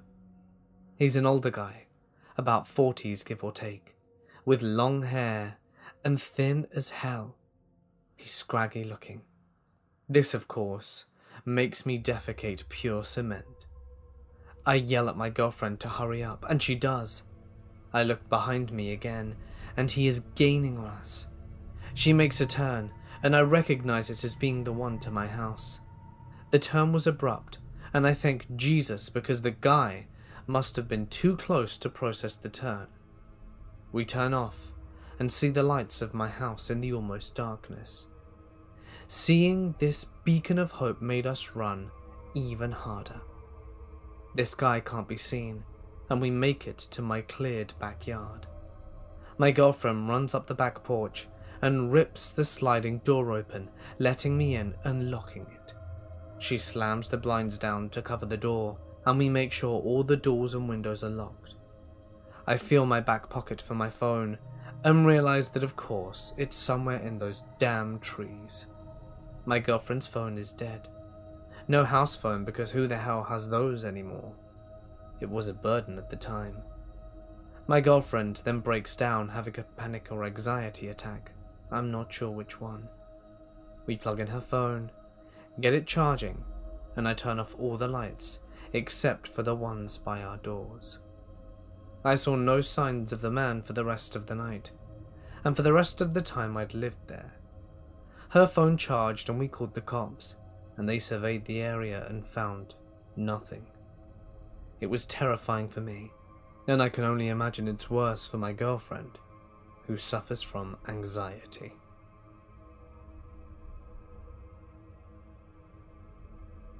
This happened in August of 2008. To preface, I was 16 and stupid. I was in love with my then boyfriend, the way that Ariel was 16 and in love with Prince Eric. His parents were split up. He lived with his dad, who was really strict and kind of scary. On the weekends, he stayed with his mum. His mum lived down the street from my aunt and best friend.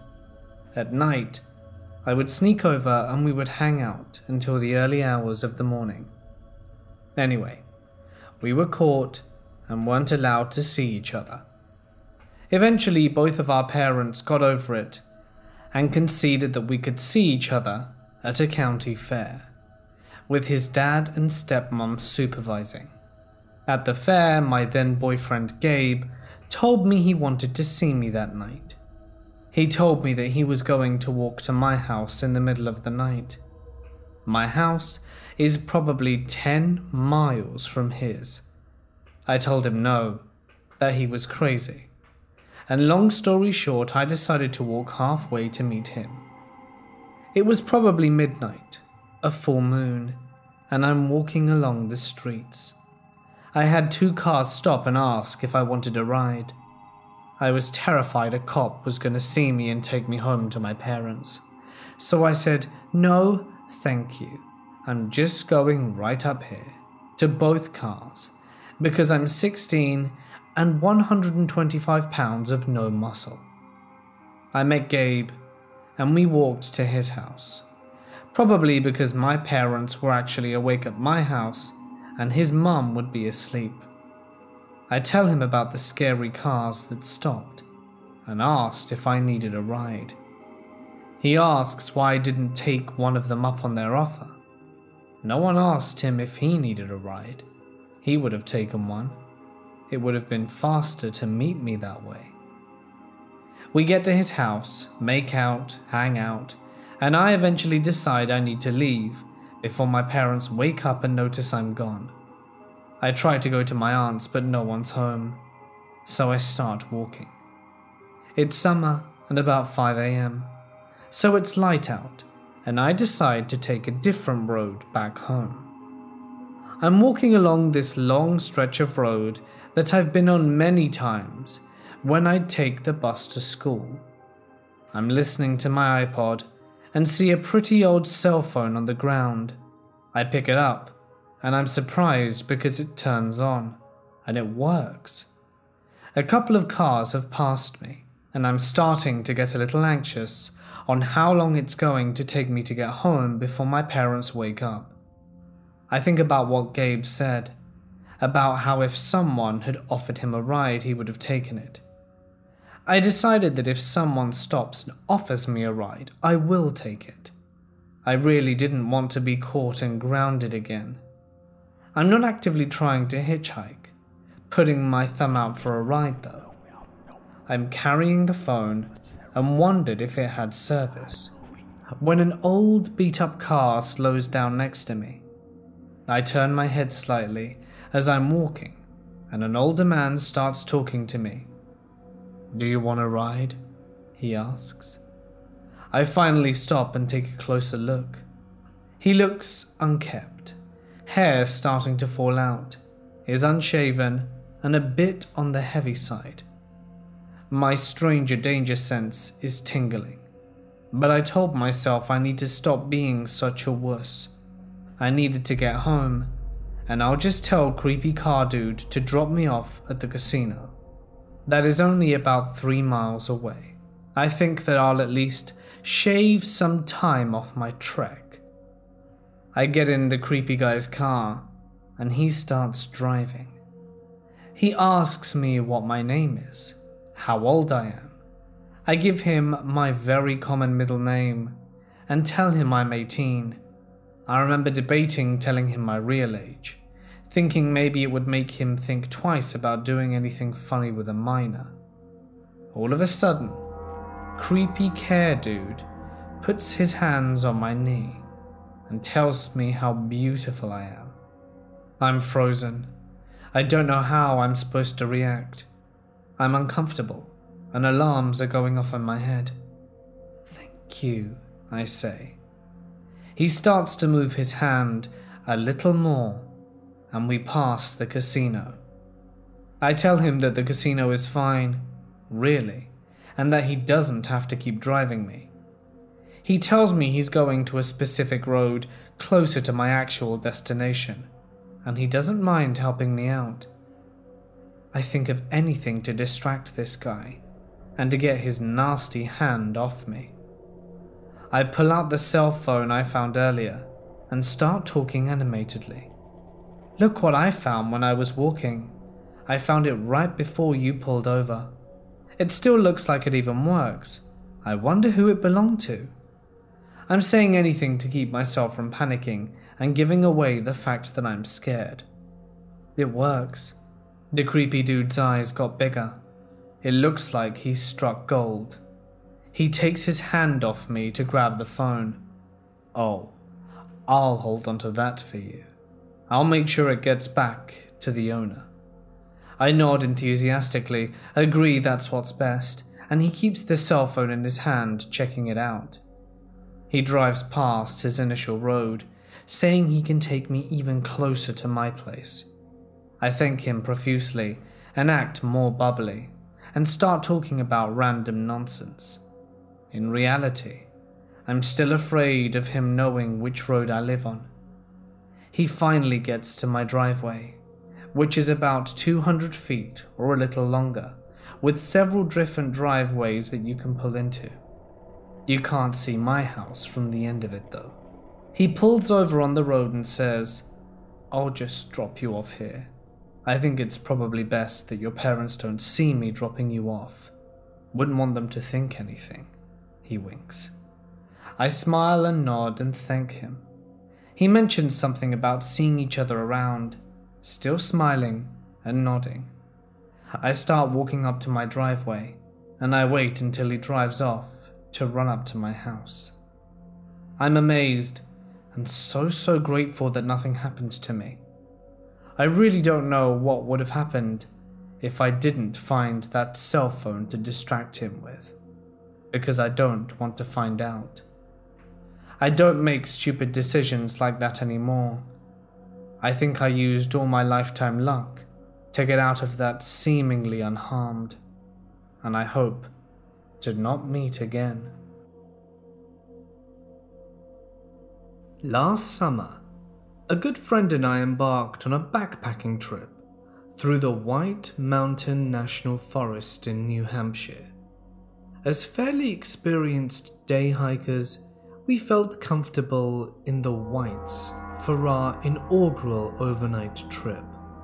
While planning, my buddy Ellis figured we could hike back to a country campsite to make our first wilderness night a little more fun. I wasn't going to disagree. Beautiful views, historic trails, and a protected night in the dry river wilderness. I was stoked to say the least. Before any hiking trip I do, I always conduct a little internet research on the trails or shelters that I will be coming across. Throughout the mid to late 1900s, there were a series of these lean tos up and down the dry river wilderness meant for backpackers or through hikers really looking to escape the crowd in more popular areas of forest. Though as time went on and the Forest Service had other more pressing matters, Many of these shelters were dismantled, except Dry River Shelter Number 3, the last remaining shelter in this wilderness zone. On the morning of our hike, I met Ellis at the trailhead, and we set off. The sky was overcast, bringing it with a dense fog throughout the forest. The weather left us with nearly no visibility. So, there went our stunning views. At least the trail consisted of prime, technical New England rock scrambling alongside the Ammonoosuc River. Ellis and I made it up to the Presidential Ridge, stopping by the Lakes of the Clouds. The hut was filled with day hikers, backpackers, and through hikers all socializing together. We were even rewarded with some sun and a brief glimpse of the dry river valley on the summit of Mount Monroe before the fog rolled back in. With dwindling views and a stiff wind, Ellis and I hustled tree line down to the dry river shelter number three, our home for the night. Once we dropped off the ridge into the valley, we entered the wilderness zone where rangers patrolled sparingly. Time to really be alone in the wild. As we trekked into the wilderness, all signs of civilization disappeared, and the trail was densely overgrown. Although it had been raining all week, there were no footprints in the mud either. At least we would be having some relaxing isolation, I figured. After about an hour or so of descending, Ellis spotted the lean to just as our legs were asking for relief. A gorgeous old timber structure with a well used fire pit along a cold mountain river. Pristine camping. As we settled in and explored the site, I found a small boundary notebook nestled in the corner of the structure. On the cover, someone wrote, Dry River Shelter Number 3. Out of curiosity, I opened it, but found nothing more than a lone man's name scribbled onto the first page and a date. Just your standard camping log.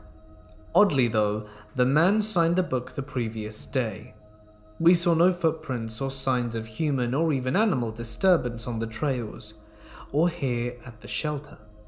Rain can wash away tracks, but not all signs of animal life.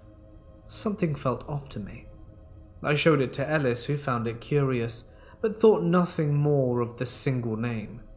He convinced me the man was probably a hiking veteran and a professional at LNT. I bought into Ellis's thoughts on the situation in order to ease my mind. As the sun set, we started a roaring fire alongside the riverbank. Ellis commented how quiet the location was, having not seen another soul beyond the chirps of birds since leaving the Crawford path. The silence was eerie, but we figured that city life desensitized us to the wild. The sun was setting and we grew tired with the darkness. Ellis took the lean to, and I spent the night in my tent. Sleep came quickly after hiking 8 plus miles with 20 pounds on my back, but this didn't last long. A brutally sharp slapping noise woke me up. The only thing I could compare the noise to would to be someone swinging a 2x4 onto a tree or snapping a thick branch. I figured it was a bear searching for our food bag hanging in a tree some 20 to 50 yards away. Nothing out of the ordinary for New Hampshire. Sleep overtook me once again, and I remember waking up to the sun rising over the peaks. I stumbled out of my tent to see Ellis also waking up slowly. As we made our morning oats and coffee, I wandered around the site again to see if I could find the marks the bear left. Instead, I noticed something odd. The small notebook was open. I swear that I put that thing back where I found it, which involved closing it and putting it in the back corner of the shelter. I most certainly didn't leave it open on the floor. Hey Ellis, were you checking out this camp log last night? Nah, passed out, man. It's not like there's anything to read anyway. You sure? I commented as I bent over to pick it up. The lone hiker's name was not so lonely anymore. At least 20 more names filled the pages. The lone traveler whose name was originally on the first page could now be found several pages deep into the notebook. I tossed it to Ellis, whose face instantly dropped the second his mind registered what was on the page. Great. Now I knew it wasn't just some dehydration delusion of the previous day. Dude, we must have been seeing things last night. There's no way we could have missed all these names. How the hell could we? Ellis said. This is when I began to tell Ellis about the slapping noise during the night. I received nothing other than instant denial. These sounds were not the result of some hooligans or backward crazies harassing us. Ellis was convinced. Rather sternly, he commented, It's a bear, Jack. It's a bear. Now let it go. And, well, we did. Ellis led us out onto the site and on our way home not 10 minutes later. A year has passed, and I'm still not quite sure what happened during our night at the Dry River Shelter 3. The memory of seeing a single name written on the front page of the notebook is so crisp in my mind. I couldn't have mistaken it. Could I have mistaken the noises I heard and the new additions to the book? Ellis feels the same way about the whole scenario. What do you think? Or were we not welcomed by the New Hampshire wilderness? Years ago, when I was still a teenager, my friend Justin and I would often go longboarding at night, as my friend and I were quite the night owls. We loved the freedom of almost never seeing another soul on the roads or the paths we frequented. Even when using main roads, it would be very rare to see a car out so late in such a rural area. And you could see and hear them coming from very far away due to their headlights and the noise of the vehicle disrupting the peaceful silence of the night. We were really into it at the time and would often ride our boards for miles and miles, sometimes not arriving home until the sun was up. One particular night, we decided to ride a few miles away from our usual back roads to take one of our favorite hidden routes.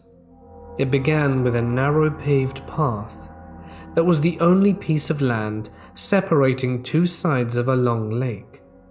It would often sink under due to rain, and we wanted to seize the opportunity to use it before it rained and went underwater again. It was roughly two miles long and extremely relaxing to ride through due to the scenery. After making it to the end of the lake, we decided to continue moving and turn into a very close path that leads directly into a densely wooded wilderness preservation. As we came up to the first hill, we looked down at the bottom into the blackness. We both noticed what appeared to be a tiny moving ball of dim light down there. It moved so strangely, and it was extremely difficult to make out what it was. Rather than shine our flashlight down, we curiously watched it for a few moments, whispering to each other about what it could possibly be. All at once, that small light turned into multiple blinding lights and extremely loud revving sounds, overwhelming our senses that had become accustomed to the dark and silence. Acting purely on fear, we instantly turned around and ran as fast as we could, hearing yelling and revving gaining behind us. By sheer luck, we managed to run off the path into a very dark very overgrown hole in the side of a hill, overlooking where we had just come from. We decided to hide in the natural dugout of this hill, hoping the plants and darkness would be enough to protect us from whatever was happening out there. We watched our pursuers ride up to where we had originally been standing. There were four men, two on four wheelers and two on fully sized motorcycles. They were yelling at each other about something, but we couldn't make out what they were saying due to the distance we had covered. We felt safe enough to whisper very softly to each other and speculate who these people could be. Our first thought was they might be park rangers of some kind, although we had never seen one here in the many times we'd been through, and honestly we doubted that this county had the budget or even the desire to have anyone patrol the deep woods at night. Besides that, these men were on vehicles entirely inappropriate for the paved bike trails. And they were very angry about something. They called out to us for a while, yelling things like, We know you're out there. We can see you. Come out. We stayed silent and decided to call their bluff instead of running. Eventually, we clearly heard one of the men yell, Find them now, and smash a bottle. That had erased any hopes we had that these were just park rangers. We watched them split up, each of them going a different way down the series of paths on their vehicles, including the path we came from. It took us what felt like ages to even move. We were frozen in terror inside that dugout, watching the lights from the vehicles travel through the woods and paths. One of them already coming full circle and passing the point he started from. I thought about calling for help, but was too afraid to open my phone in fear that even the smallest amount of light would give away our location. After waiting for the lights of the vehicles to reach their furthest distance yet, we finally summoned the nerve to get up and try to run somewhere far enough from these people to safely make a call. We ran as hard and fast as we could through the woods. Since their headlights gave away their location on these paths, we could hide again whenever we felt that they were getting too close. Our available hiding spots were getting progressively worse as the woods became less dense, and the fear I felt waiting for one of them to drive past us while basically only being covered in leaves and plants may still be unmatched to this day. Finally, we emerged from the woods onto the intersection of two main roads, far from where we had started. We ducked down into the ditch to call for help. When I opened my phone, I noticed I had recent missed calls from one of our other friends, Connor, who was supposed to meet up with us after our longboard excursion. I called him and frantically asked where he was. Luck was with us again. He hadn't given up on our plans despite us ignoring him, and was only a few miles away, already heading in our direction. I gave him the names of the two streets we were near the corner of, and explained that we needed to be picked up right away. He agreed and sped over to us while Justin and I waited in hiding. Thankfully, Connor arrived before any of those men did. We bolted into the back seats of his car, yelling for him to get the hell out of there, and he took off. Relief doesn't begin to describe what I felt being safely driven home after everything I had experienced. After explaining everything that happened to Connor, we ended up just moving on with our night and decided not to call the police. We figured they would be gone by the time any officer made it out there, and that we would only be putting ourselves at risk by admitting to breaking the law and taking those paths so late at night. I still have no idea what happened or who those people were. I've been told all kinds of theories from friends and family that have heard this story. Some think we walked right up to a huge drug deal. Justin and I later admitted to each other that when the revving started and we couldn't see it, our minds both went straight to chainsaw wielding horror movie serial killer. So I suppose it could have been much worse. Frustratingly enough, whatever those men thought we saw that made them want to catch us so badly, we never actually saw. We'll never really know, I suppose. I've had a lot of strange jobs, but one of the most interesting was working for a tax company based out of Texas. I lived in Kentucky, my home state at the time, but because this company contracted out jobs remotely, I was able to make a very good living for performing tasks which were generally very simple. I had a work partner, and our duty was to travel all over the eastern and central part of the state to county courthouse PVA offices. You might not have those, it's a small town thing. And research delinquent property taxes. We were then required to compile a list of properties who had delinquent taxes and submit it to our boss. She was our primary contact in Texas. This part is important because it was the only reason we would sometimes have to deal with hostile people. The company would then buy the taxes if the property tickled their fancy, and a letter was issued to the owner of the property, stating they had a certain amount of time to repay the amount. I'm not sure what would happen after that, since that isn't part of my job. But I do know that people immediately assumed, because of lack of knowledge or understanding of the law, this company was going to take their property and throw them out on the street. Before the company bought the taxes, however, they would send us back a list of the ones they were interested in, and we would then go out to the location, photograph the property, and then submit all the photos to our Texas contact. This is where things got interesting. It was like the property owners had some kind of psychic intuition about us. They had no idea who we were or when we were coming, since we worked almost always on our own. And they didn't know what kind of colour car we would be in. Yet somehow they would frequently burst out their front doors as we pulled up to take pictures of their location. This made for some interesting and often frightening confrontations. After getting comfortable with the job, I even came up with a convincing story to tell angry property owners when they chased us down with their car. We're from the County Property Valuation Administration. We're just updating our property files and need a current photo.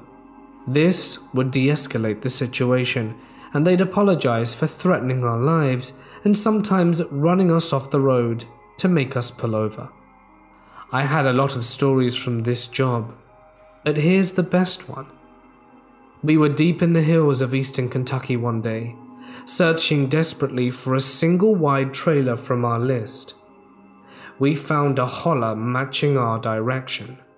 This is way before the GPS days, and we had to use real country maps and took a chance. As we drove up the holler, houses began to spread out further and further, and soon we were totally isolated nothing but trees and a narrow gravel road. Suddenly, we spotted the trailer. It didn't look anything like it did in the PVA picture. Time had really taken a toll on this place. Some of you might not understand this, depending on where you're from, but around my home state, one grows very accustomed to the look and feel of a potential location for drug manufacturing. I know that might not make sense, but trust me, we knew immediately that this place was a prime location for a meth lab. We didn't spot the trailer until we had driven a little ways past it, so we didn't get a great photo on the way in. As usual, we decided to drive on by, turn around, and get the shot on the way back. Apparently, someone saw us on the way in. This was a very rural road, and not even a road at this point since it had turned to gravel a mile or two back.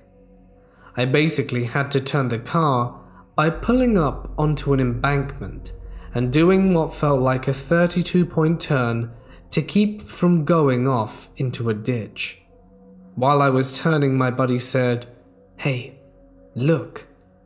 I looked, and three people were walking out of the woods into the road.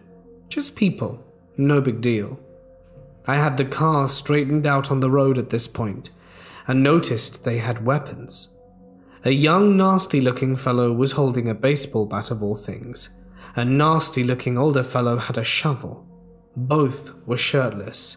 And then there was a screaming girl. Something clicked in my head. On the drive in, when my partner snapped the photo, I heard a girl scream. It was an angry scream, but I couldn't make out what she said. I didn't even know where it came from, and I certainly didn't think the scream was directed at us. Apparently it was. These people were now walking with intention towards my car. I kept thinking, is this really happening? And what exactly is happening?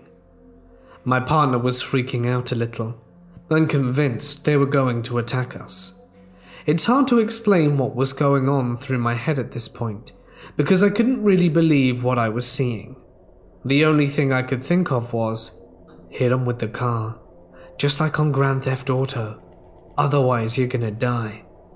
They were screaming, shaking their weapons, and closing in, and I was running out of time. I revved the tiny engine in my red Pontiac Grand Prix, hoping to scare them, and then I let off the gas. I ploughed towards them with the fury of all six cylinders, or four, however many there were, and they jumped out of the way at the last minute as I grazed by them, throwing gravel and dirt into the air. Once we were at a safe distance, I slowed down and looked back. Luckily, they were gone. Unluckily, we were once again too far from the trailer to get a good shot. I explained this to my boss when I emailed her my day's recollection of property photos, and she seemed to understand. After that, I kept a loaded .45 in my glove box and felt significantly more confident while doing my job. I quit a couple of years later though. It was just too dangerous, even if I was packing heat. So to the hillbilly meth making counterparts of Otis, Baby, and Captain Spaulding. Let's not meet again. Let me set up stage.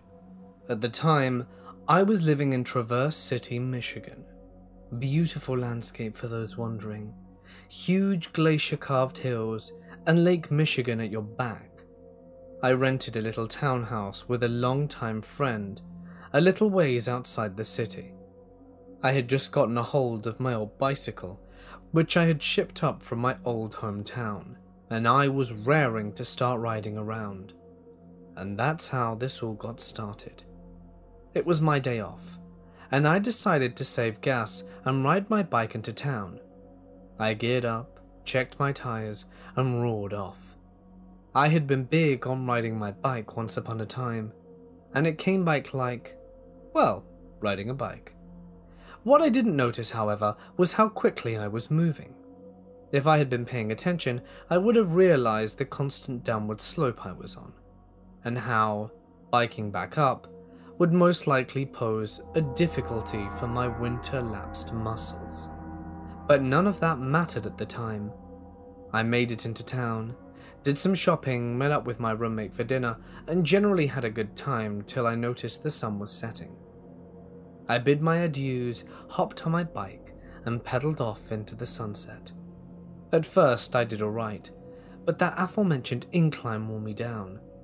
By the time I reached the last leg of my journey, it was pitch black, and I was walking my bike. At which point, the road faced me with a choice. To my left was the regular road, which was lit better, but also a longer trek to get to the townhouse row I occupied. To my right was a more direct route to and from town. I drove it every day, and in fact had used it to come into town that very same day. It was heavily wooded and unlit, but featuring a shorter route, albeit with a steeper hill. I figured since I was already walking, I might as well just take the shorter, familiar path. So I turned on my bike's headlamp and headed into the even greater darkness of the road through the woods. All went well for a bit. I trudged along and cursed myself for being so stupid and overconfident with my bike. Then I heard it. Footsteps off to my right side in the woodlands. I stood still and they stopped abruptly. There in the blackness, I debated what it might be. But as a veteran of the woods, I hoped it was just local wildlife and continued on. The footsteps started up again. They stopped when I stopped, just a hint later. I started and stopped once more to be sure that I wasn't hearing things. This last time, the steps continued for a solid 10 seconds after I had stopped, making me sure something, or someone, was out there. I still do not know what, though I logically lean towards human, as the gait sounded bipedal and more precise than a quadruped. With this in mind, I weighed my options. If I dropped the bike and ran towards home, it would be far too easy to catch me. The same was even true if I ran back towards town. I was not in any way prepared for a chase, and I didn't want to initiate one. My mind strayed to the utility knife that I always carry in my purse, but I shoved that thought aside. I have enough martial arts training to know the knife was a bad idea, and I was more comfortable taking whoever or whatever was out barehanded, rather than escalating things with a blade. Instead, I called my roommate who was still in town, gave her my location, and told her what was happening. She told me she'd be there in 10 minutes. I hung up and started walking again. The footsteps started up too, this time faster and clearly out of sync with my own. And that's when I got mad. I have a weird thing where fear makes me angry and hostile, and being followed through the woods had officially punched my buttons from terrified to murderous. So I turned to the woods and roared with a voice I didn't know I had. How about you come out and face me, you piece of crap? I'll rip your stomach open and wear your intestines for a necklace. For the life of me, I don't know where I got the guts or the words for that. It might as well have been a bad move, but the woods were rather abruptly quiet, and nothing came at me. I stayed still, staring hard, ready to beat the ever loving crap out of anything that moved but nothing did. Then my roomie came on scene, her headlights almost blinding me as she turned the curve to where I was. I tossed my bike into her car, and we hauled ass somewhere. I collapsed once I got home, vomited from pure nerves, and finally crashed at 3 am. And that's my story. Was it a person? An animal? I feel compelled to lean towards the former if for no better reason than because it sounded like a person walking. And what animal would just be so precise in following and winding me up? But who knows? Maybe I scared the crap out of some poor porcupine. Regardless, I'd rather not encounter it again. This happened last year in Virginia, and is also the reason why I never backpack alone anymore. I was taking summer courses at the time, and we ended up with a three day weekend in June. So I thought it would be a great time to go and explore some of the Virginian wilderness. I did a Google search and found a state park with a trail that looked nice, and let my roommate and family know the trail that I was going to be going on. When I got close to the park area, I saw a little outdoor shop where people hiking the Appalachian Trail stop. I went in to grab a map of the area in case I got lost. As I was talking to the owner, he mentioned a trail that's not well known that has a pretty cool waterfall and swimming hole. This piqued my interest, so I had him show me on the map. It took me outside the state park, but he said it was a great place to go. I paid for the map and thanked the owner. I texted my roommate and parents about the new trail, and I parked my car and set off on my adventure. I should note that the waterfall was going to be a side trip from my journey. I was planning three days, two nights. I started on part of the Appalachian Trail, and it was pretty packed with people, and some of them were really fun to talk to. As expected, as I got further and further from the main trails, I saw less and less people. Around early afternoon, three miles from my destination, I noticed it was unnaturally silent. No birds, no bugs, not even wind, and I had a feeling of being watched. I shook it off as me overanalyzing the situation. I got to the waterfall and it wasn't too spectacular, but it was cool to look at. Plus, it had a good size area to swim in. So naturally, I stripped down to my skivvies and took a dip. It was pretty refreshing. As I was getting my clothes back on, I started whistling to myself. It was Chill Bill because it was stuck in my head. And that's when I heard something whistling the same tune back. I thought it was a bird copying me, so I went back and forth with it, and it repeated everything I whistled. I thought it was pretty neat.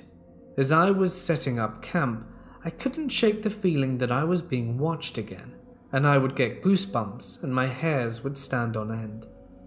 As night fell, I built a small fire and lit my Jetboil to make dinner. As I did this, because I became hyper aware that again there was no sound, just deafening silence.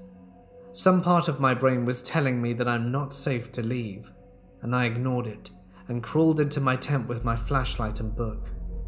I went to sleep without incident. When I awoke the next morning, my site was trashed. My camp stool was nowhere to be found, my bear bag with my food was cut down, and the contents were thrown around the site. My first thought was a crafty animal chewed through the rope and got to the bag. But when I looked at the rope, it was cut with something very sharp, and none of the food was touched. I also noticed bare footprints all around my campsite, and keep in mind I'm at least six to eight miles from a road.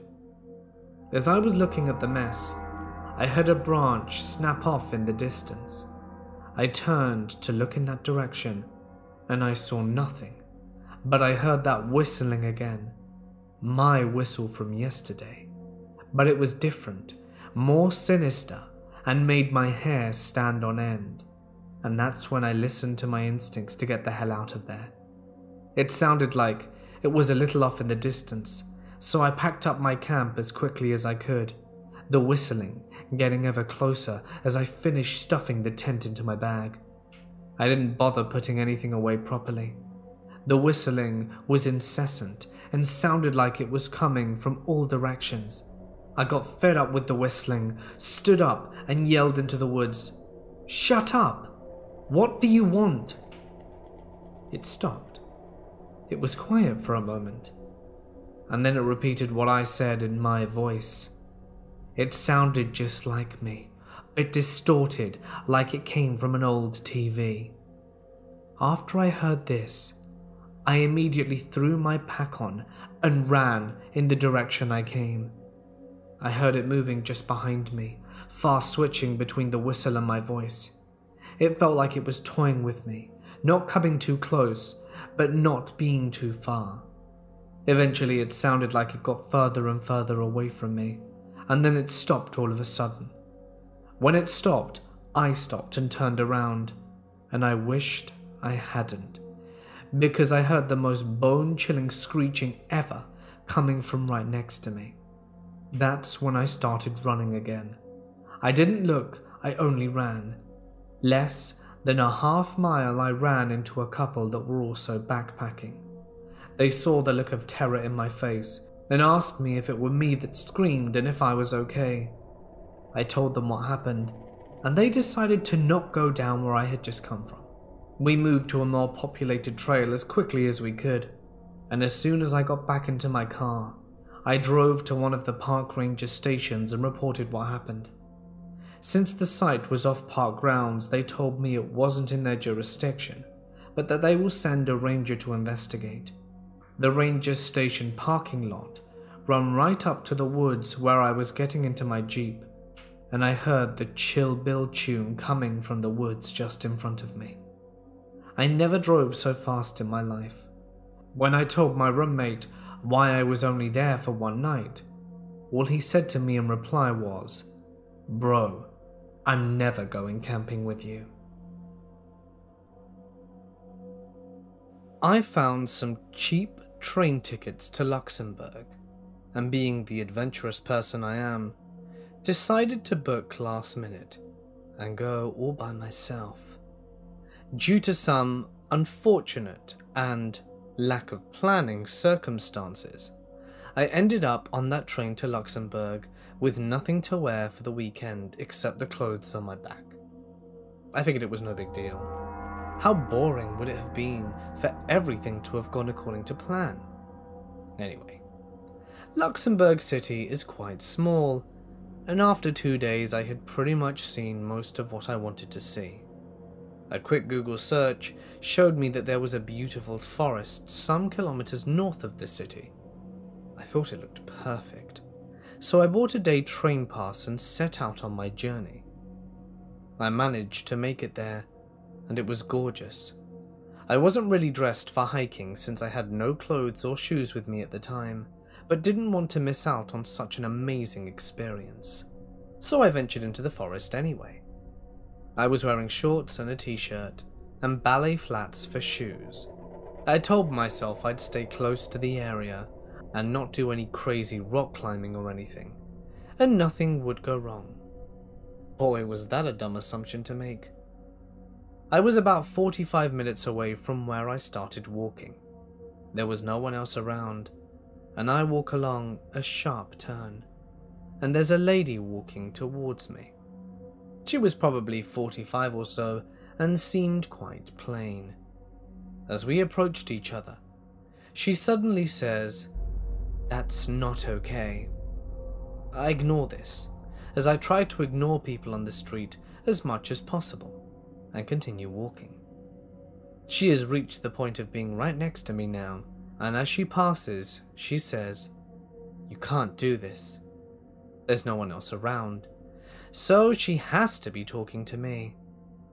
I reluctantly turn towards her and ask, Pardon me? She says, How dare you show up here like this?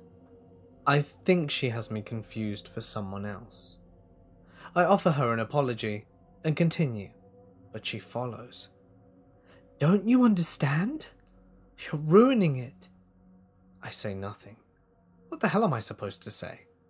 I see some big branches close by that I could perhaps use as a weapon if I need to. I don't even know what's going on at this point. She's screaming now, repeating it's all sacred and my shoes are ruining the sacredness of the forest. I stand my ground, offer one more apology, and she tells me I'm going to regret it. I don't know why, but I told her that I had nothing else to wear, trying to justify myself, I suppose. Then she tells me it doesn't matter. I'm starting to feel relieved. Maybe she'll leave me alone. The forest is protected. Do you know who protects it? She says. No. Realistically, where can I run? Nowhere. Who can I call? No one. So I have to face this lady at all times. I don't want her attacking me from behind or something. She proceeds to tell me that Jesus Christ is protecting the forest. I nod. Sounds about right.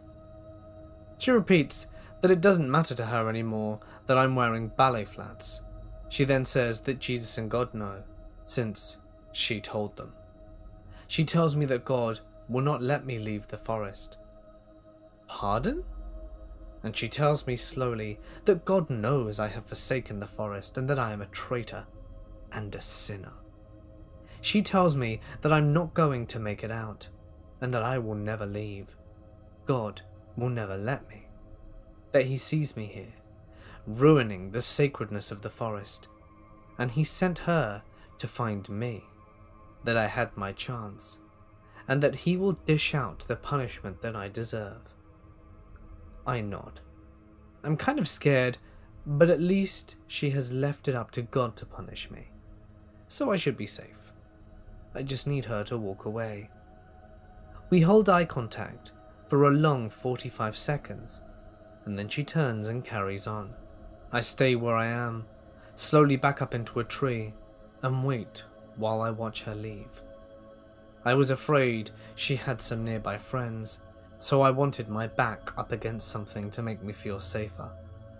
She was still within earshot when I heard her say, He won't let you leave. You know nothing you can do can change that. She kept walking and never turned back.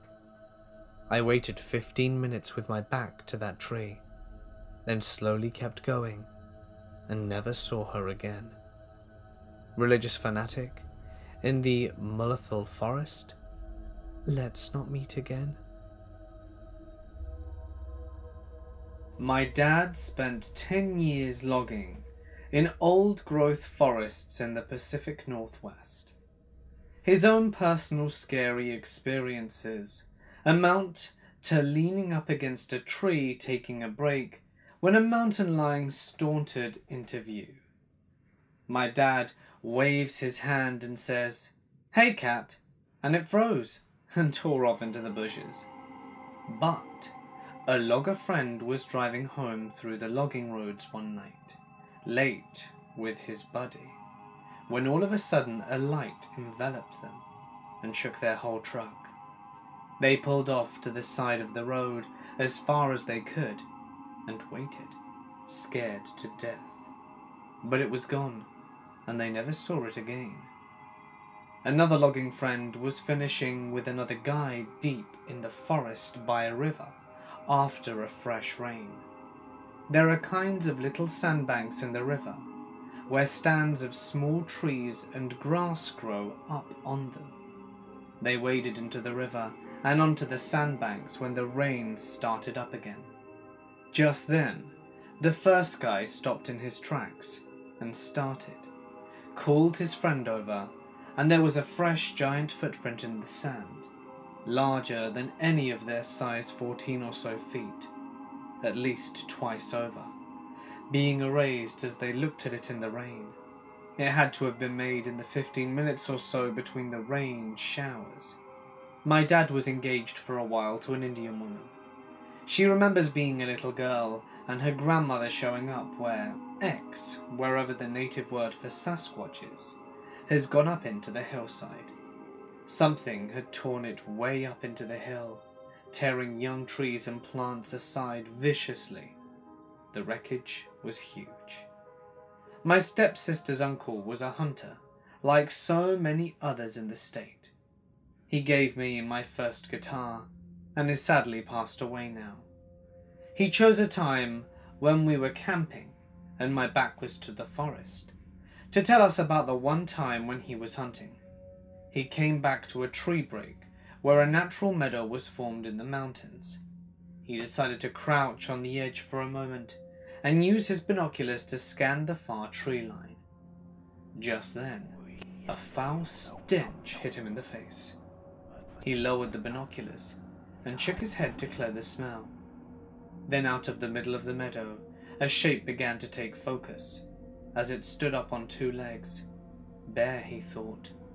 He raised up the binoculars to see the back side of something very, very large, making its way quickly out of the meadow on two legs, stinking up the whole place. I shudder to still think of that. My mum grew up way out in the Olympic National Forest with four younger sisters. One night they were driving home through the woods where their engine began sputtering and dying. My mum, who was driving, got it going again, and they stopped at a gas station to call her parents, to tell them that they were having some car troubles. They all got out of the gas station and were astonished when the car turned on behind them with no one in it. I have no idea why they got back in after that, but I'm guessing their house wasn't too far away. My mum looked in the rearview mirror and saw what she described as a football-shaped object all lit around the borders by bright lights, following them at treetop level. All four of her sisters saw it too. When they finally turned on their road, it was lost to sight amongst the trees. On top of all of that, they heard from around the town that other people's engines were having problems that same night. My mum and my aunts are the least imaginative people I know. There is no one less likely to see things, or make up stories.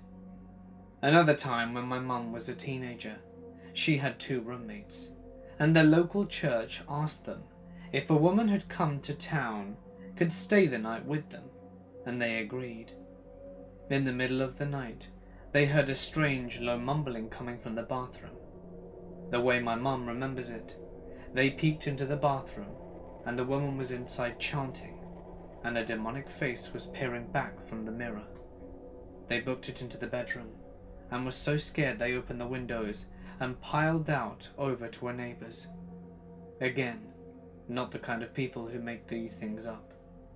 My cousin and I were sitting in a hot tub, gazing up at the night sky, when all of a sudden a bright green arc spread across the sky. Off centre was a giant green blob we were frozen in fear, staring.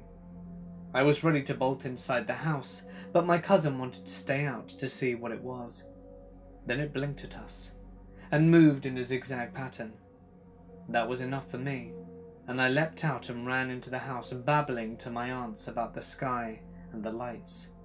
My one aunt said, Oh, she reads too much. Thanks, Aunt Linda. But my cousin, who saw it with me, has an impeccable record and backed me up. Apparently, though, many strange things have been seen in the sky in East Wenatchee. The last thing that happened to me was in Wenatchee too. Years later at my aunt's house, which is right next to a cemetery on one side, a really big apple orchard on the second, hills on the third, and the subdivision on the last. It was winter and the orchard was filled with snow. My cousins and I went out into the snow under the moon to play hide and seek in the orchard. About fifteen of us charged out there, deep into the orchard, and who gets the frickin' short straw to seek first but me? So I waited and counted about two minutes and then set off. It was really spooky, but I was excited. All the trees looked so dark and knobbly. The light of the moon was nearly gone under the branches. Instead of zigzagging around, I went straight through and found myself on the far side of the orchard, almost in the open. I turned back when I heard a voice say, Over here. I laughed and said, Nicky? There was only an old building there, no house, and really nothing to see, so I was confused. The voice was high and clear like a young girl's, and said over and over, Come here, closer, closer. I took a few hesitant steps towards it, then fear washed over me, and I just bolted back into the orchard calling for my cousins. Everyone came out all concerned, and they must have seen how scared I was, because everyone got scared, and we all fled back to my aunt's house, where I again was branded the one who reads. In the daylight, I went back, thinking there must have been a house or windows that I was hearing, maybe a TV or something. Nope, just a building. Not a scary one, but there was nothing there, and nowhere I could have been hearing the voice in front of me coaxing me closer. About eight years ago, we went to a friend's condo in the city. They were a bit of an odd couple, but very nice and brilliant. The guy wanted us to borrow this book on spiritual nature and said that it was really good. I don't like things like that, so I flipped through the book and something felt off. So I told my husband I didn't really want to take it. We said thanks but no thanks and left without it. About three months later, we needed to use our spare tyre and lifted up the floorboards covering it in the trunk section of our SUV. There was the book. Oh, hell no. I've heard and never believed of the stories of books that wouldn't be gotten rid of, so we threw it in the trash. And I was really ready to burn the crap out of it if it popped up again. Thankfully, it seemed to stay there. My husband was really freaked out and pissed about that. It was easily the most unexplainable thing that's happened to me personally. Most of this all happened a long time ago, so I've forgotten the finer details but it all adds to the argument that there are unexplained things in this world. Corbett National Park in India. We had just spent four rainy, disappointing days in the company of mud spattered jeeps, spotted deer, noisy wild chickens, and bland ramen. Tomorrow would be our last day. It was a full moon night, my friend and I were chilling at the edge of our camp, located just above a broad, rocky riverbed.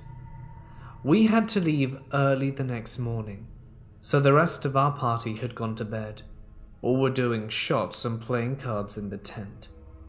The couple was still hanging out by the embers of the dying campfire. My friend and I thought it best to head down to the riverbed to smoke our cigarettes. Things were peaceful and we made our way through half a pack.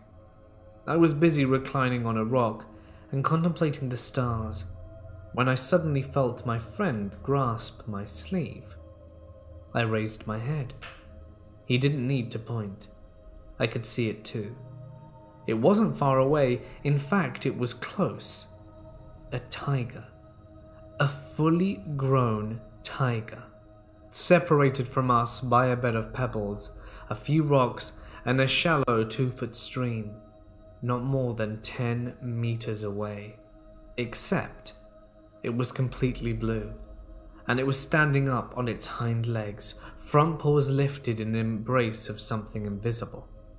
I still remember the gleam in its eyes one orange, one green. It was looking right at us. It was also frozen, absolutely still as a statue. Not a roar, not a purr, nothing. Like one of those dioramas of a saber toothed tiger you find in museums. One of our guides had warned us about a blue tiger that prowled around on full moon nights looking for lost people to eat. We had welcomed the story as one of those fun touristy things when it was first told to us, but not to be taken seriously. But there it was, right in front of us. Fear did not take a hold of me yet. I did go light-headed within seconds though, and started to think of my family and wondering what they would be doing right now. My friend's presence was oddly reassuring, because I kept thinking fiercely over and over in my head I'm not lost. I'm not lost. It knows I'm not lost. It can't eat me. Look, I'm not alone. I realized I was pleading with the universe. Somewhere far, far away, I heard my friend say very, very calmly, Pick up the stubs. Don't leave them there. I vaguely remember obeying him and then when I turned away from the frozen tiger, took it out of my vision, both direct and peripheral, the fear washed over me like a tidal wave. Goosebumps erupted across my shoulders and back, and I screamed. My friend and I ran like we had never run, yelling, leaping, and bounding over rocks, and scrambling up the embankment like cartoons. I was so sure that at any moment the tiger would pounce on me. I vividly remember my heart pounding in my ear and thinking of the raptors in the tall grass in Jurassic Park 2. We did not stop running until we had raced past the now fizzled campfire and reached the reception area, where there were still a few people up and about. Needless to say, when we went back to take a look 15 minutes later from the embankment, as there was no way in hell we were going down to the riverbed again, with flashlights and 10 other campers that we had managed to rouse, the tiger was gone. We told the others our story all next morning. It wasn't like they didn't believe us. They believed we saw something, just not a blue tiger. They thought it was the moonlight playing tricks on us, while others thought that we were high. On top of that, the guide who had warned us about the tiger was behaving very shifty and smug all morning, as if he knew what was going on. A couple of people joked that maybe he had thrown on a costume and we'd fallen for it. Ugh, it wasn't like that. There was something unnatural, something unearthly about what we had seen on the riverbed. I knew it. My friend knew it. And between the two of us, we knew that we would be the only ones who knew what we had seen. That experience changed the way I viewed a lot of things. I am no longer skeptical about religion and the paranormal. I do believe there are things in this world we maybe never are going to be able to understand or comprehend. It is a peaceful place to be in, but my most immediate takeaway and my biggest piece of advice to you don't mess around in the wilderness. Respect the rules, but you have no idea what is waiting for you there. A few months back, my girlfriend and I were bored hanging out around the house and spontaneously decided to go out for a hike. We don't go hiking often, but the idea appealed to the both of us, and even though there was only about an hour left of light. We figured we had enough time to go and enjoy a hike before it got too dark. We quickly filled up our water bottles and put on the best walking shoes we had and we're out of the door driving up into the mountains. Around my area, there are many hiking trails, with the variety of trails increasing as you go up the mountain. We tended to stay around the base of the mountain in the occasional case that we'd do a hike, where most people would still be walking. But we wanted to change things up and progressed further up the mountain road to a trail a friend of mine had mentioned. We kept in mind our time and figured that we could hike for a bit and simply enjoy the new environment and finish up before it got too late. We arrived at the trailhead and see that there were no cars left along the road where the trail commences. We didn't think too much of it though due to the time. We still had a good 45 minutes until dark, so we trooped on. We started walking down a fairly steep hill that then recoups the elevation at the bottom with an equally steep hill that you have to ascend. We reach the top, and then it's smooth sailing from there on out. We see a lone coyote off the trails away off, and some rabbits, and I made a quip about how those rabbits might need to be careful with that coyote lurking around. She playfully hit me for that one. Approximately less than a mile into the trail, we see a large fallen tree that made a bridge over a dried riverbed, and decided to take a rest, climb around on it, and take pictures. We were there for roughly 10 minutes, and then resumed hiking. We continue on the trail for a short distance until she hears a rustle in the trees behind us. We stop, mildly spooked, due to the assumed size of whatever made the rustling but continue on only briefly before she decides she's done and that we need to head back. It's twilight now, so I agree with her, so we turn around and head back to the car. When we made it back to the fallen tree, my shoe had come untied, so I used the trunk to fix my loose laces and look behind us for the first time on the hike, which is uncharacteristic of me, but hey, I was having fun and there was no need to be paranoid. I see a person dressed entirely in black, with their hood on.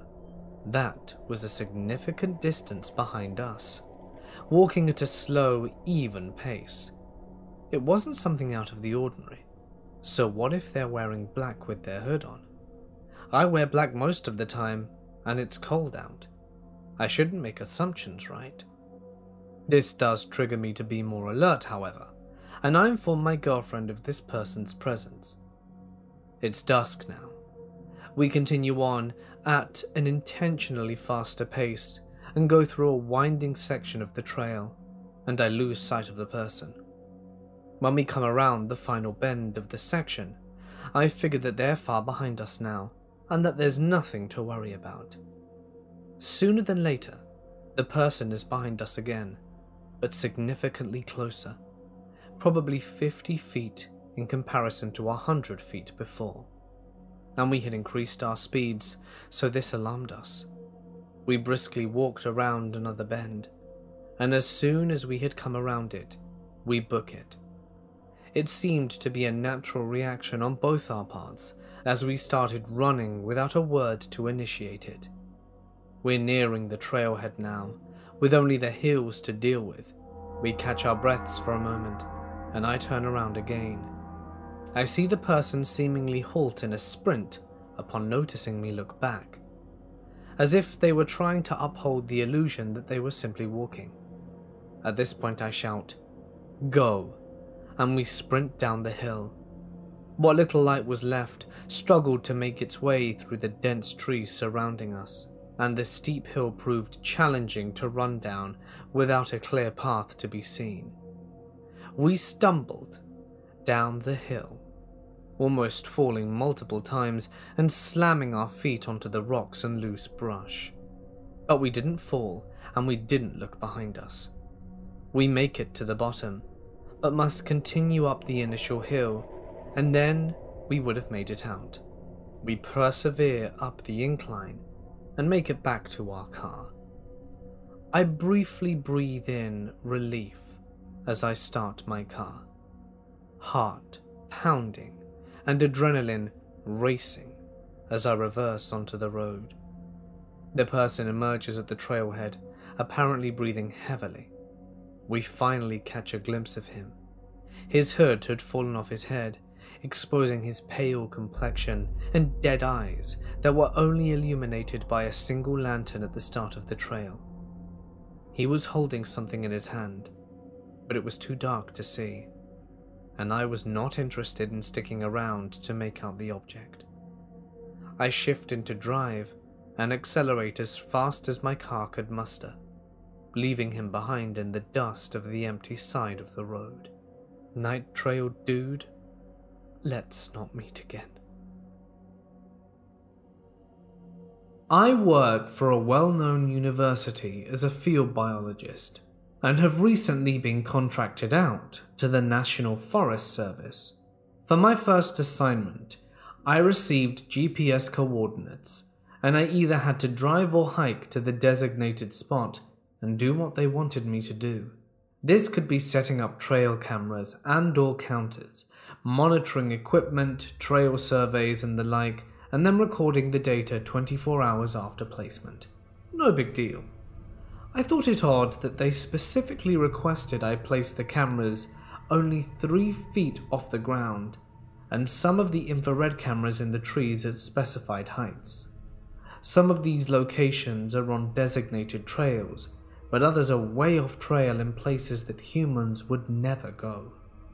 Sometimes there isn't a hotel or lodging close enough, as these are in very remote mountains, and the Forest Service has outfitted me in some pretty dank camping gear on the occasion I may have to camp. I am an experienced hiker and camper, and have spent many nights alone out in the field due to my career choice. I am a woman of about 5 foot 6, 130 pounds, but not really afraid of anything. Again, the Forest Service has outfitted me well, and I wear an emergency beacon that will send every law enforcement officer in the area to my location in no time. So I've been assigned to this district for a few months now, and have really enjoyed my work. This is a very remote and unspoiled area, and that's why I do what I do. I get to see things most people wouldn't, and I've had so many positive and almost spiritual moments up until a few nights ago. I was working up near one of the highest points in the state, with a complex system of trails, wilderness areas, and camping. It has also been snowing with howling winds and ice storms, and I was camping up there to complete my work. And while the conditions were rough, I was almost enjoying it. My first night in the woods was pretty peaceful. I made dinner, set up camp, and drank some whiskey, and smoked some really good bud. I snuggled down in my sleeping bag and slept like a rock. It was very cold, but I wear this turtle fur face mask thing and don't feel the cold all that much. I woke up at dawn and went about building my fire back up and starting some coffee when I noticed all this churned up snow around my campsite. Not tracks, just churned up snow like someone or something had kicked it all around. Weird, but whatever. I had a 15 mile hike to set some cameras and didn't really have time to wonder about it. I set off on my hike, did what I had to do, and started back to camp. I never wear earbuds or anything because hearing is one of the most important senses in the wilderness. I want to be able to hear any animals, people, or anything before I see them. It was already past dark when I arrived back to my camp, and I was too tired to do anything except strip down to my base layer, get into my sleeping bag, and pass out. Around 2 am, I woke up because I could hear people talking. People? I was around 30 miles up a gravel road that was locked with Forest Service gates and about 10 miles from where my truck was parked and I could hear voices. I completely lost it. I have a firearm and I quietly retrieved it from my pack and got back in my sleeping bag and cocked it and waited. I was on high alert. All of my senses were going wild. Eventually, the voices faded and I couldn't hear them anymore. but I never went back to sleep. At daylight, I emerged from my tent to more churned up snow and my two trail cameras hanging from a tree about five feet from my tent. Cams that I had placed 15 miles out from my campsite. I packed my stuff up as fast as I could and hauled ass back to my truck. Along the way, I saw a lot of human boot tracks all around my campsite, and when I reached my truck, I discovered it had been broken into and my computer and other equipment had been stolen. I am currently in a luxury log cabin at some resort, too scared to retrieve my other equipment and too embarrassed to tell my superiors how scared I am. The Forest Service bought me a new truck, while my other one is getting the window replaced, and I did make a report about the theft, but there's no way in hell I'm ever going back to that site and so I finally went back to retrieve my equipment and the two cams that were hanging near my site. I took a friend who's a former Marine with me, and the equipment I placed was undisturbed, but the two cams that were hanging near my campsite were both missing their memory cards. I didn't tell my supervisors how scared I was, but I did say that someone had messed with the cameras and stolen the memory cards. I also requested to never be sent back to that site again. I will still work that area, but never anywhere near as remote. I truly hope it was just teenagers looking to steal and maybe have some fun at my expense. Every person I've met around here has been exceptionally nice, even if most do hate the National Forest Service. I don't know if this means I will be fired or sent to work at a desk, but out of all of the years I've been doing this in national forests around the country, this is the most terrified I have ever been. And I'm not scared of animals, and I have many stories to share about my encounters with them. But what I am scared of are people. My mum's family used to live in the countryside in the northern region of Colombia. It was the late 70s or early 80s. I don't know exactly when. My grandpa had his own farm. He wasn't a big landowner though, but he owned a small farm in the middle of the Serrania. He has worked since he was 11 years old because my great grandfather died when he was just a kid. During all his teenage years, he learned everything related to farming how to tame horses, herd cattle, grow plants, and whatnot. And he was indeed very knowledgeable on agriculture, since they lived amidst the dense jungle. It was normal to hear witches laughing or whistling, and hearing the screams of La Llorona. Not only that, it was a tight knit community. Everyone knew each other and knew each other's business. My grandpa used to work for the big landowners of the region. However, there was one he always refused to work with. It was an extremely wealthy landowner. He had a number of heads of cattle, horses, and it was said that he also had thousands of hectares of land where he cultivated rice, potatoes, yams, and cassava. There was a rumor going around that this guy got all his possessions overnight by making a deal with the devil. Locals wouldn't work for him. Most people who did were unsuspecting foreigners who ignored the whole story. They were seduced by the high wages they were offered compared to those that they would have made if they'd have worked anywhere else. Most of the foreigners learnt quickly about the boss's wrongdoings. But if we take into account that Colombia back then was even more of a shithole than it is today, what other option did they have?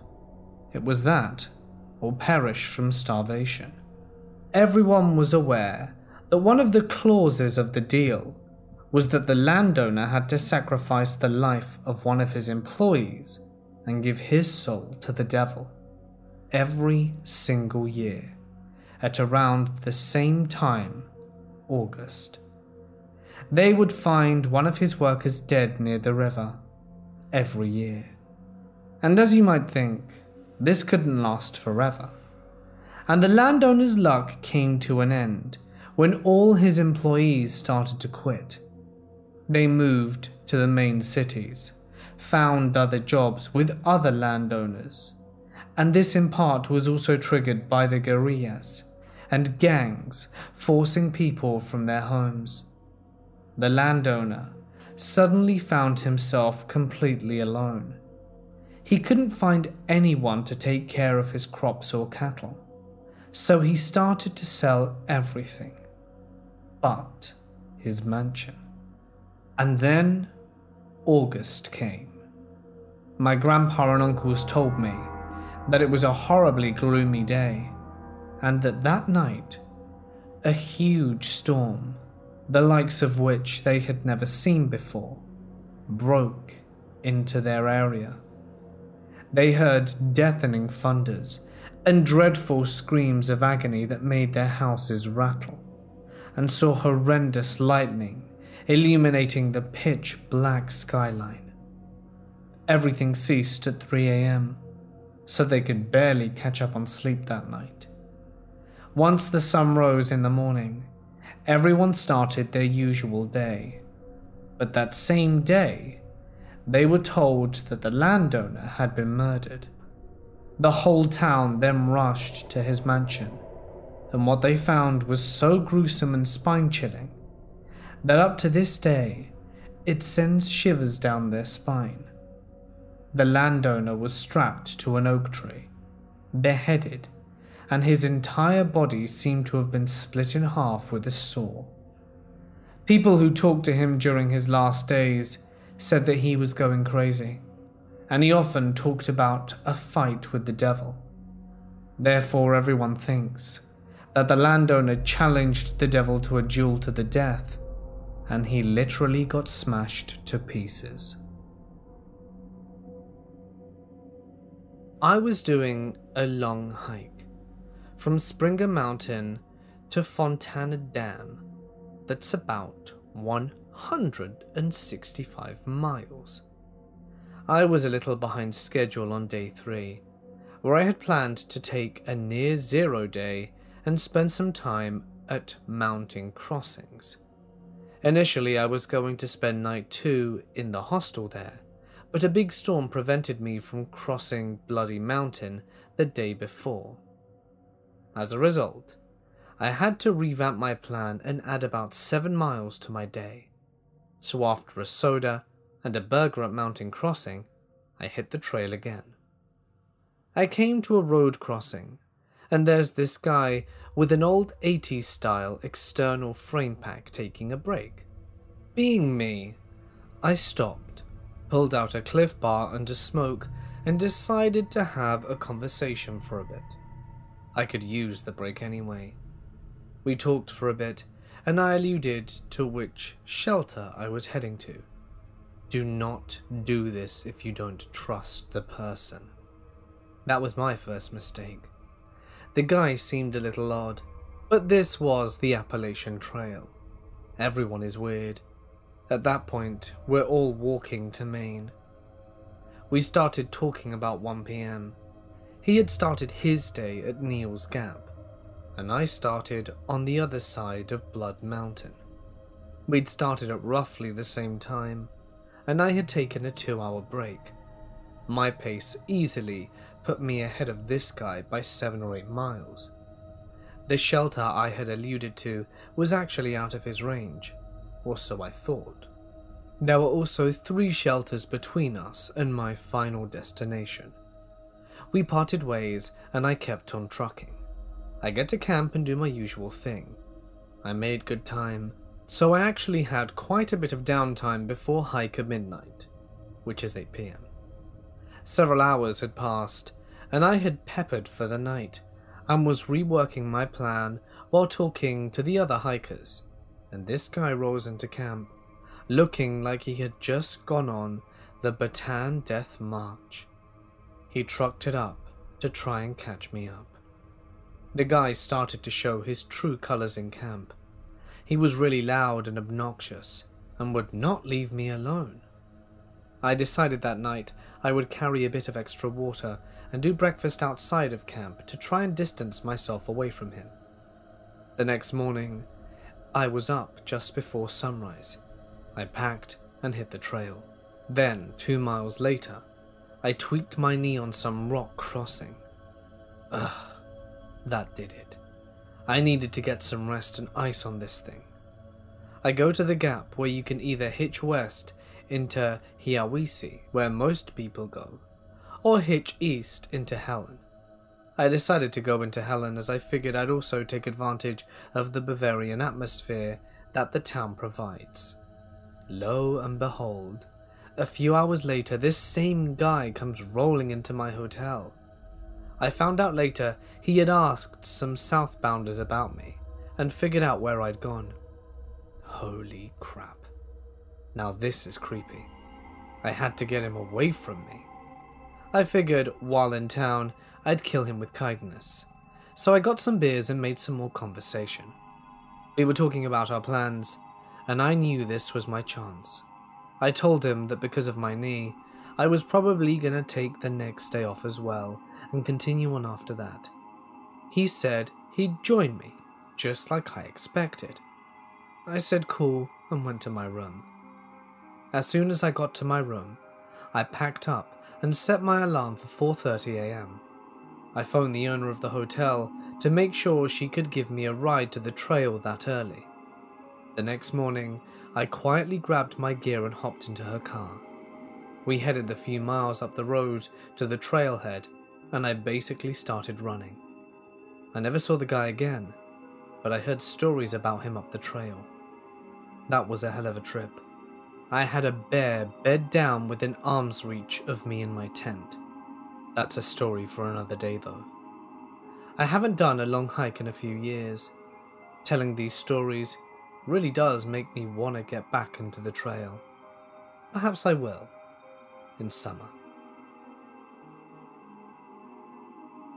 From roughly 2000 to 2005, I lived on the south edge on Northern Virginia. This was a rural area with houses set far apart from each other surrounded by fairly dense woods. There was a phenomenon that I came to call the woodwalkers. Due to insomnia, I had a bad tendency to stay up very late at night, sometimes all the way until dawn. Frequently, I'd leave the window partially open all night long in order to let a cool breeze in. On some occasions, late at night, well after midnight, I'd hear something loudly crashing through the woods behind the house. It always sounded like a large man staggering drunkenly through the woods, always along the same path from the direction of the driveway down towards the Bull Run River. The leaves would be rustling very loudly, as if a large person were carelessly dragging their feet along the ground. Branches would be snapping, as if the person was lurching blindly through the forest. I couldn't tell if it was one person or several people, but the passing through the woods always created an alarming amount of noise. I came to expect to hear the woodwalkers every two weeks or so. And after a while, whenever I heard the noise of woodwalkers, I would peer out the window trying to discern who or what was making all the noise at such a late hour. I never saw a thing. No outlines of figures, and no glow from a flashlight. The really strange thing about this to me is that the apparent path they were traversing through came from nowhere and went nowhere.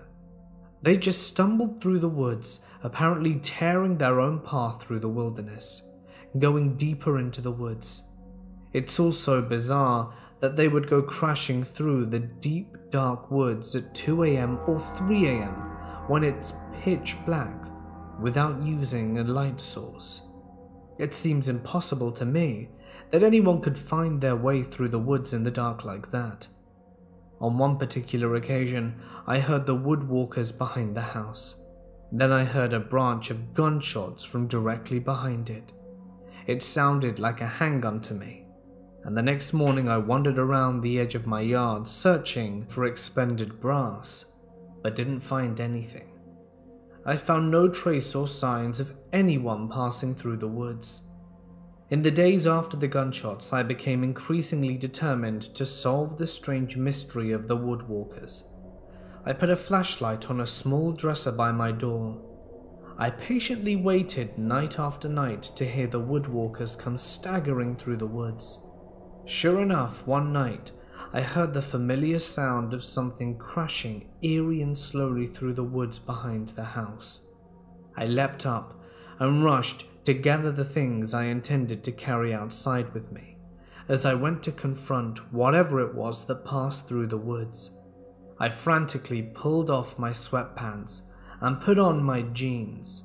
I searched for my keychain, then unlocked the lockbox in which I kept my pistol. I loaded my ammunition into the pistol and tucked it into my belt. I grabbed my flashlight and quietly descended into the basement, then out the back door into the backyard. It took me far too long to get outside. By the time I cautiously strode out under the moonlight, I could hear the noisy movement of the woodwalkers receding into the distance.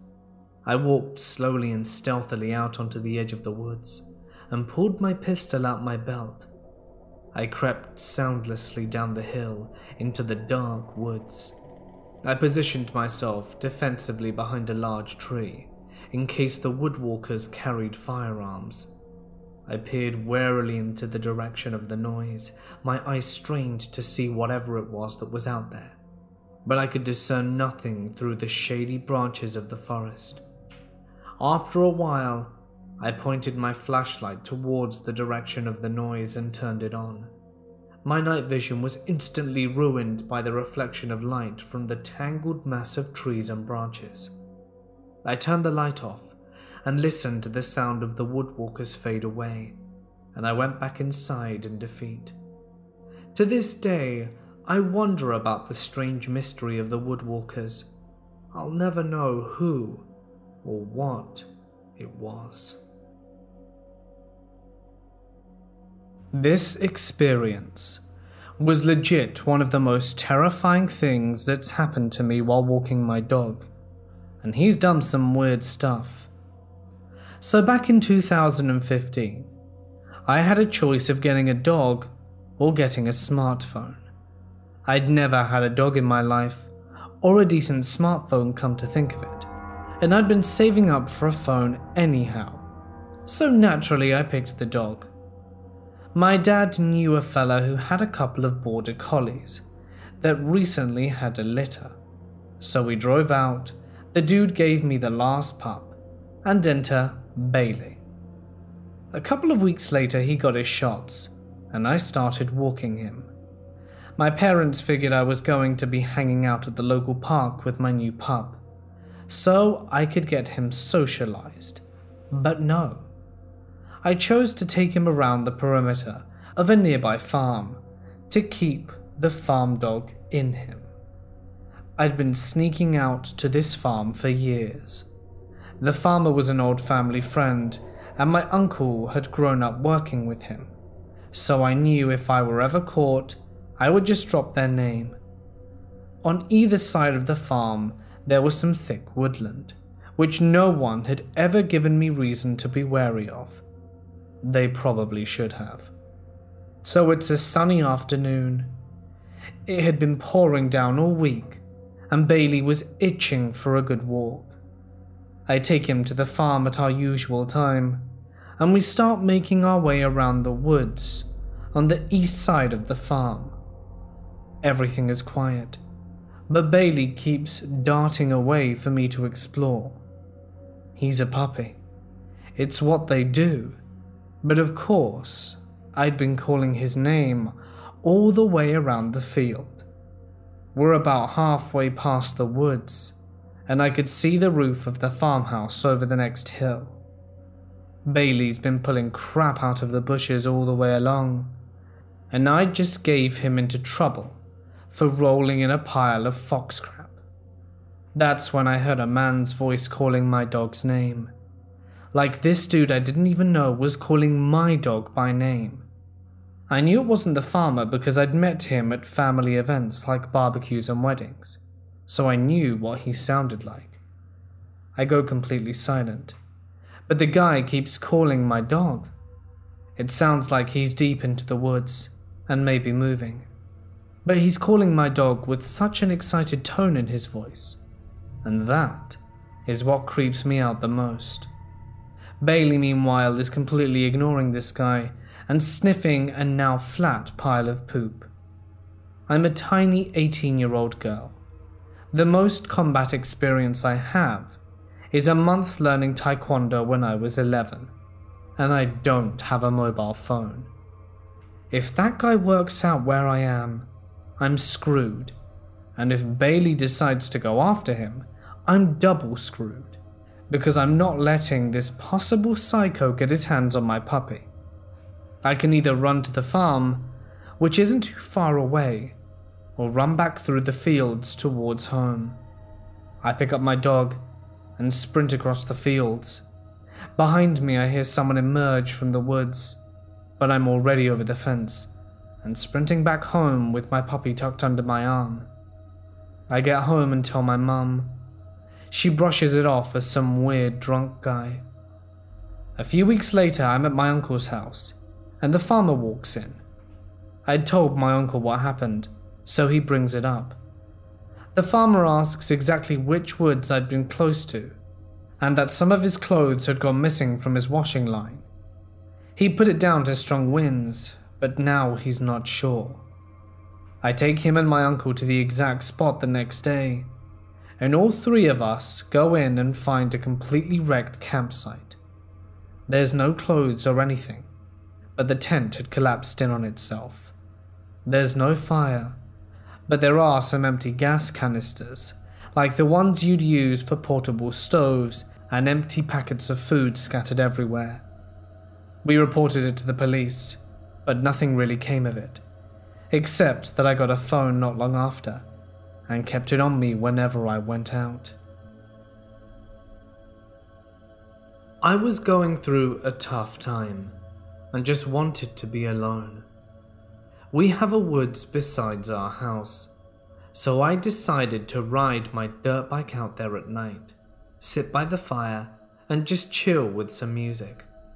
About an hour or so later, I wanted to change up the music, so I grabbed my iPod and started to surf through some songs until I found something that I liked. Now, I forgot to mention it, but at night, the woods are pitch black out there, even with a fire, so you can only see a few feet around you. Basically, you and the fire are the only ones around in a sea of darkness. I switched songs and turned back to the fire. I froze. On the other side of the fire, a large form with pointed ears loomed in the darkness. The only reason I noticed it was because of the glowing eyes reflecting the flames that burned between us. This thing was huge. I'm about six feet tall, and it was taller than I was. I stood there paralyzed in fear as for what seemed like minutes stretched between us, only the music breaking the dead silence. Now I live in Ohio, so there aren't a whole lot of tall animals with pointy ears in the woods. We have no bears of any kind or wild animals in the area that are bigger than a deer.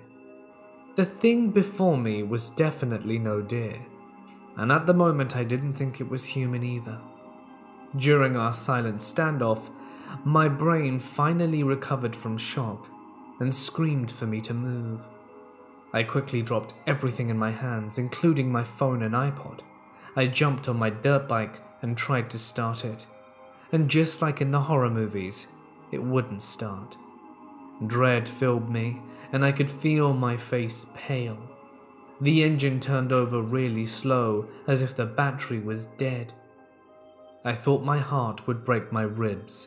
It was pounding so hard. Luckily, it has a Kickstarter as a backup, though I've never had any luck kickstarting it.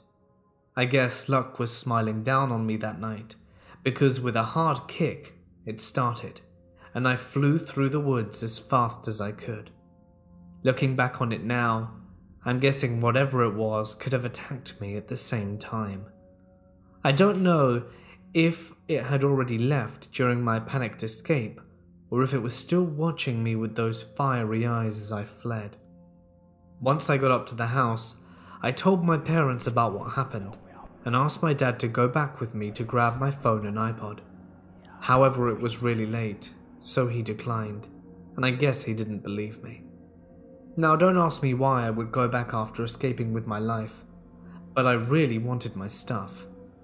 I ended up calling my friend who lives nearby, and he agreed to come to my assistance. My friend and I went back out into the woods with, and I kid you not, swords and a disposable camera to get my stuff. I took the camera with us just in case I would be fortunate enough to snap a picture of whatever was out there with me. As I was snapping pics in one hand, then holding a sword in the other, we approached the site and gathered my things. The thing was nowhere in sight. As we were walking back up to my house, we noticed the neighboring house was lit up. However, it wasn't house lights, it was on fire. We dialed 911 and ended up finding out it was an abandoned house that caught fire. Now, I'm not sure if it had anything to do with what I saw, but it sure was weird to have happened all in one night around the same time. Until this day, I have no idea what animal would be taller than me and would approach a fire and music. Not sure if it was some kind of weird creature or possibly a person in a mask. I still have the disposable camera sitting on my desk. I haven't gotten around to getting them developed, but I think that maybe I should.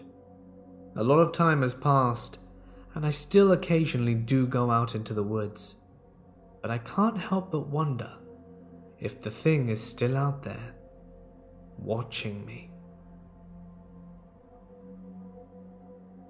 I'm a man in my mid 30s, living in a forest area of West Virginia.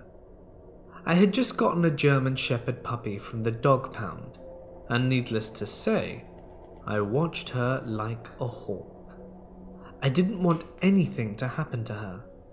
Unfortunately, in life, things don't often go the way we'd like them to, do they? She escaped a week after I got her. It wasn't that I'm not a good owner but she must have gotten interested in something and ran away.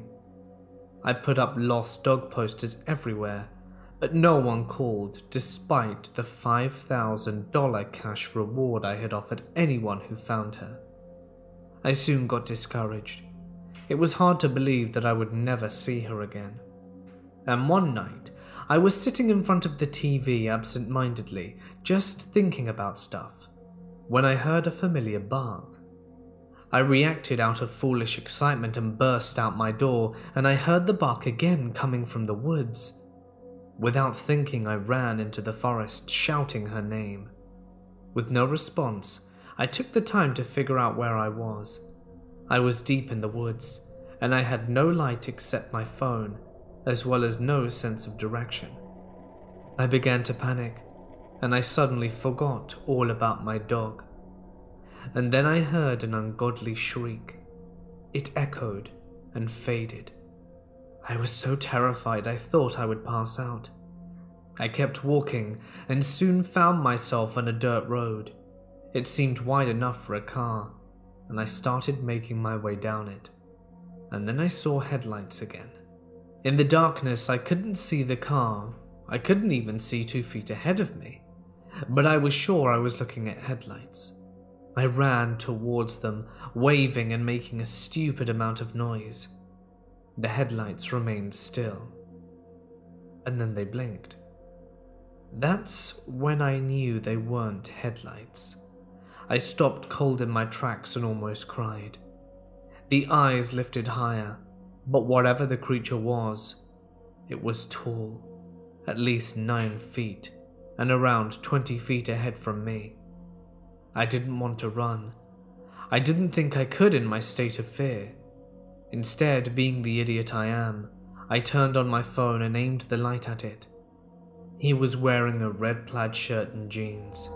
His skin was a greyish colour, and something was horribly wrong with his face. I just screamed, dropped my phone, and ran like hell.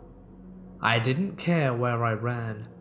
I knew I just had to get away from that thing. I looked back. It remained there, eyes glimmering, making no attempt to chase me. I eventually found my way back to civilization and spent the night in an older couple's home and told them the story. Oh, yeah, the old man said, leaning back in his chair as I described the creature. I've met a few folks who have seen that thing. Round here, we call him the Bubba Jacks. He's kind of a legend around these parts. I really hope not to run into it again. This happened to my father in law 10 years ago at our hunting camp in Alabama. It popped into my head as we were heading there tomorrow for a few days of deer hunting, and he told me to go ahead and share his story. As some people probably know, we get out an hour or so before light and climb into a tree stand, a ladder leading up to a seat in a tree, usually fairly deep in the woods to hunt. This foggy morning, my father in law had been in his stand for a few hours, and it was getting light, and he was reading a book as he waited for something to happen. Out of the fog, he hears a woman's voice, much closer than anyone should have been to him at the time. She's calling, Hunter!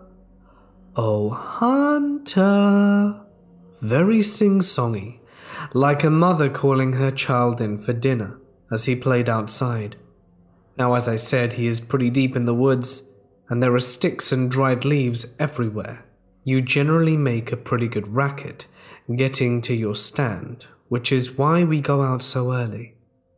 Not only that, but in order to know where he was and spot him camouflaged in a tree, she must have seen his light when he walked out, followed him into the woods, and waited hours before calling him.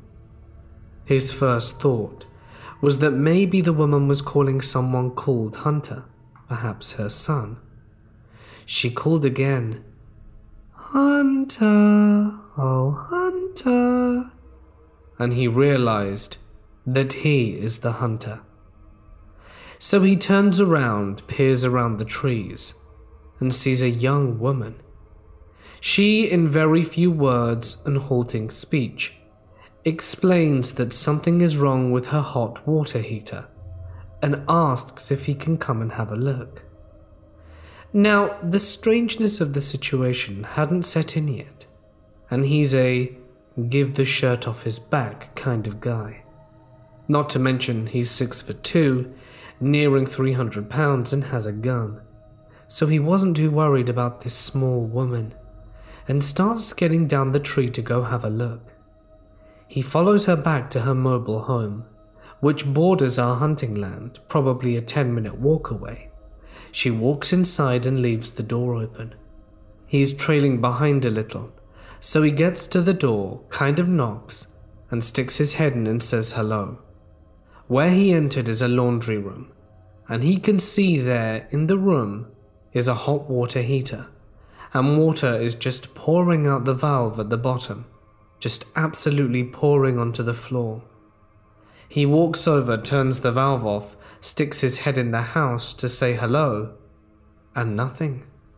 No one answers. The house seemed empty. Empty of people, anyway, but it was a disaster inside.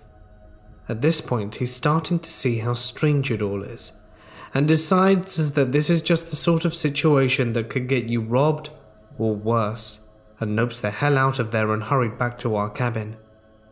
Now, we have hunted in this land for years since, and have never seen anyone at this place, although until this season it has shown obvious signs of being lived in.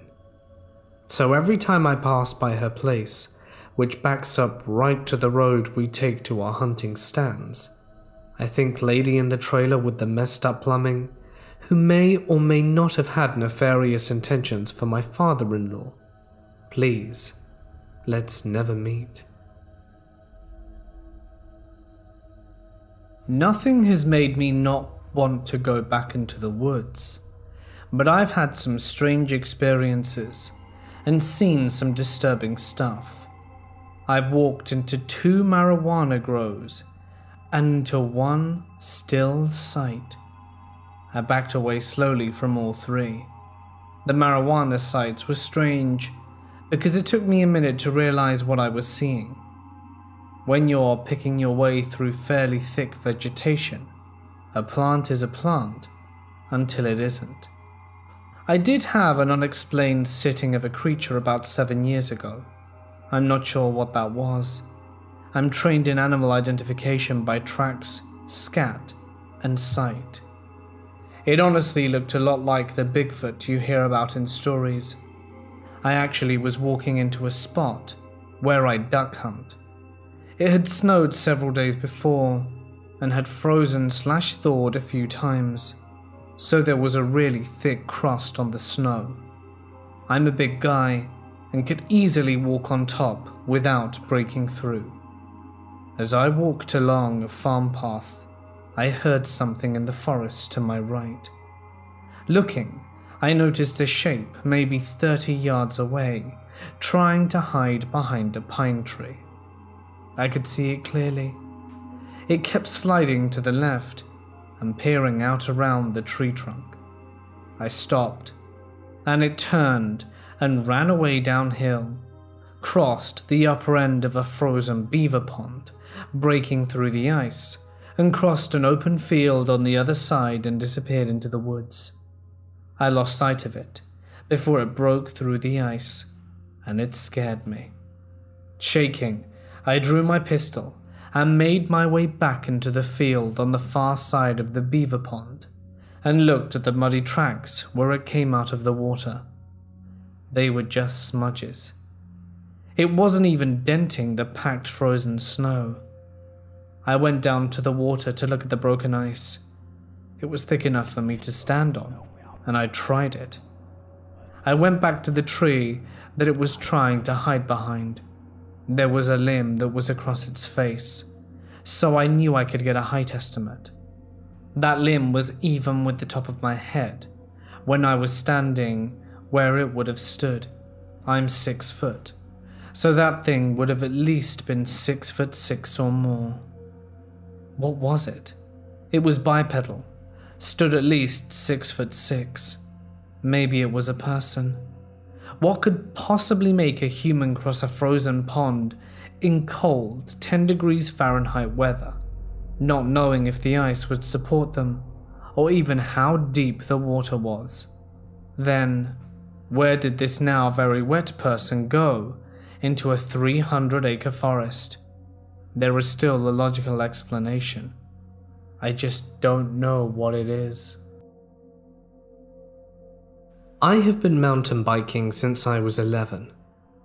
It was the only thing that I thought would make me stand out from the crowd, and I was hooked. I moved to a smaller city when I was 15, which was surrounded by mountains and countless wild trails to explore. So I was thrilled when I finally found a riding buddy willing to take the risks. We went out riding all the time. He was born there, so he knew a lot of trails and was very familiar with the suburbs. We lived in a very religious community. Traditions oblige that in a certain month we have to abstain from eating and drinking anything from sunrise to sunset. Our cycling hobby was no excuse to this tradition. During this month, we limited ourselves to a 30 kilometer ride every two days in order not to cause ourselves physical harm or injury. As we were approaching the city limits returning from a ride, my friend urged me to check out this new trail he had discovered, and despite the exhaustion and dehydration, I obliged. We took a right turn into some woods. The trail was amazing smooth dirt path, beautiful scenery, and occasional jumps. We were absolutely carried away until the trail disappeared into fresh agricultural soil that was impossible to ride on. We hopped off the bikes to go back to our trail on foot, and as we walked back, I started to think this was a bad idea. Maybe we shouldn't have gone too deep into the woods. We were in full mountain bike gear, flashy stuff, and easily noticeable from a distance. My friend was very calm though. We found our trail, and the second I lifted my leg to hop on my bike, some dude grabs my shoulder. Three guys with dirty clothes, scarred faces, and reeked of BO and cow shit. What are you doing here? The older guy starts. I was too scared to speak, and my friend handles these kind of situations better, so he did the talking. They started asking us all kind of questions about our bikes and gear, till one of them laid a hand on my friend's bike and dragging it from him. I remember his exact words. I'm sorry, but we're taking the bikes. Before we protested, he adds, Are you fasting today or not? I answered that we were. Well, we're not. And if you weren't fasting, we would have taken the bikes and slashed you guys up before sunset. They said it in such a cool and strange tone, and topped it off with, Stay safe out there. I was in awe. My friend told me he was about to pull out his knife when the guy grabbed his bike. I can only imagine what would have happened. I moved out of that city, picked up motorcycles, and we still ride together and joke about the encounter. I'm grateful it only turned out as badly as it did. I am an 18 year old male from Namibia, Africa. I experienced this in 2016, along with my older sister and girlfriend. It happened during the school holidays as we took a trip to my grandparents' farm. It was one of the places that we loved going to. One morning after having breakfast, my father informed my sister and I to go make a stop at another farmer's farm. He told us that we were to deliver a few farm tools to him that my granddad had supposedly borrowed. My sister perked up when she heard that we would take the car, since the farm was a few kilometers away. My sister and I decided to let my girlfriend tag along, since she still didn't know my family very well. As we were driving along the gravel road, we joked, talked about small things and other crazy stuff until we reached a road that had trees on either side of it. The trees grew in such a way that they blocked the sun's rays from reaching the gravel road. So we were basically driving under a large shade. I want to let all of you know that I'm very familiar with this part of the road, and I've driven through it many times before and nothing strange has ever happened. But on this peculiar day, something was off. The birds that usually sang were quiet. Even the wind seemed to be silenced as we drove. By now, we were all quiet and just listening to the gravel beneath the tires of the car. We passed a large tree that had a white mark on its bark and I dismissed it as I have seen it many times before, and after a few moments I realized that something wasn't right. I checked the time on the radio and it read 207. My eyes immediately went wide. We left our farm at 12:30. It never took us long to reach our neighbor. I was a little confused by this. Then my girlfriend said something from the back seat that confused me even more. Guys, didn't we pass this tree five minutes ago? I looked up, just in time to see us passing the same large tree with the same white mark on its bark. I knew something wasn't right, and I immediately looked at my sister, and she had a frown on her face that I couldn't exactly interpret. What the hell? I said out loud. We drove a little more, and we passed the same tree every time, until my sister got angry, and we came to a stop just a few feet away from the same tree. We got out, and were met with a deafening silence. My girlfriend got spooked, got closer to me, and I put an arm around her. Okay, what the hell is going on around here? My sister said. I don't know. We should have been at the guy's farm by now. We drove past this tree Twenty times, my girlfriend said. I'm no stranger to the paranormal. I've had weird experiences before, but nothing ever like this. I was incredibly freaked out, to say the least. As we got into the car again, we saw a red pickup truck drive slowly past us. My sister immediately started the car and closely followed the pickup truck. We drove through the wooded area just a few feet behind it, and after moments, we realized that the environment started to change. I sighed in relief as I saw the dam that was on the right side of the road. We were all glad we got out of there safely.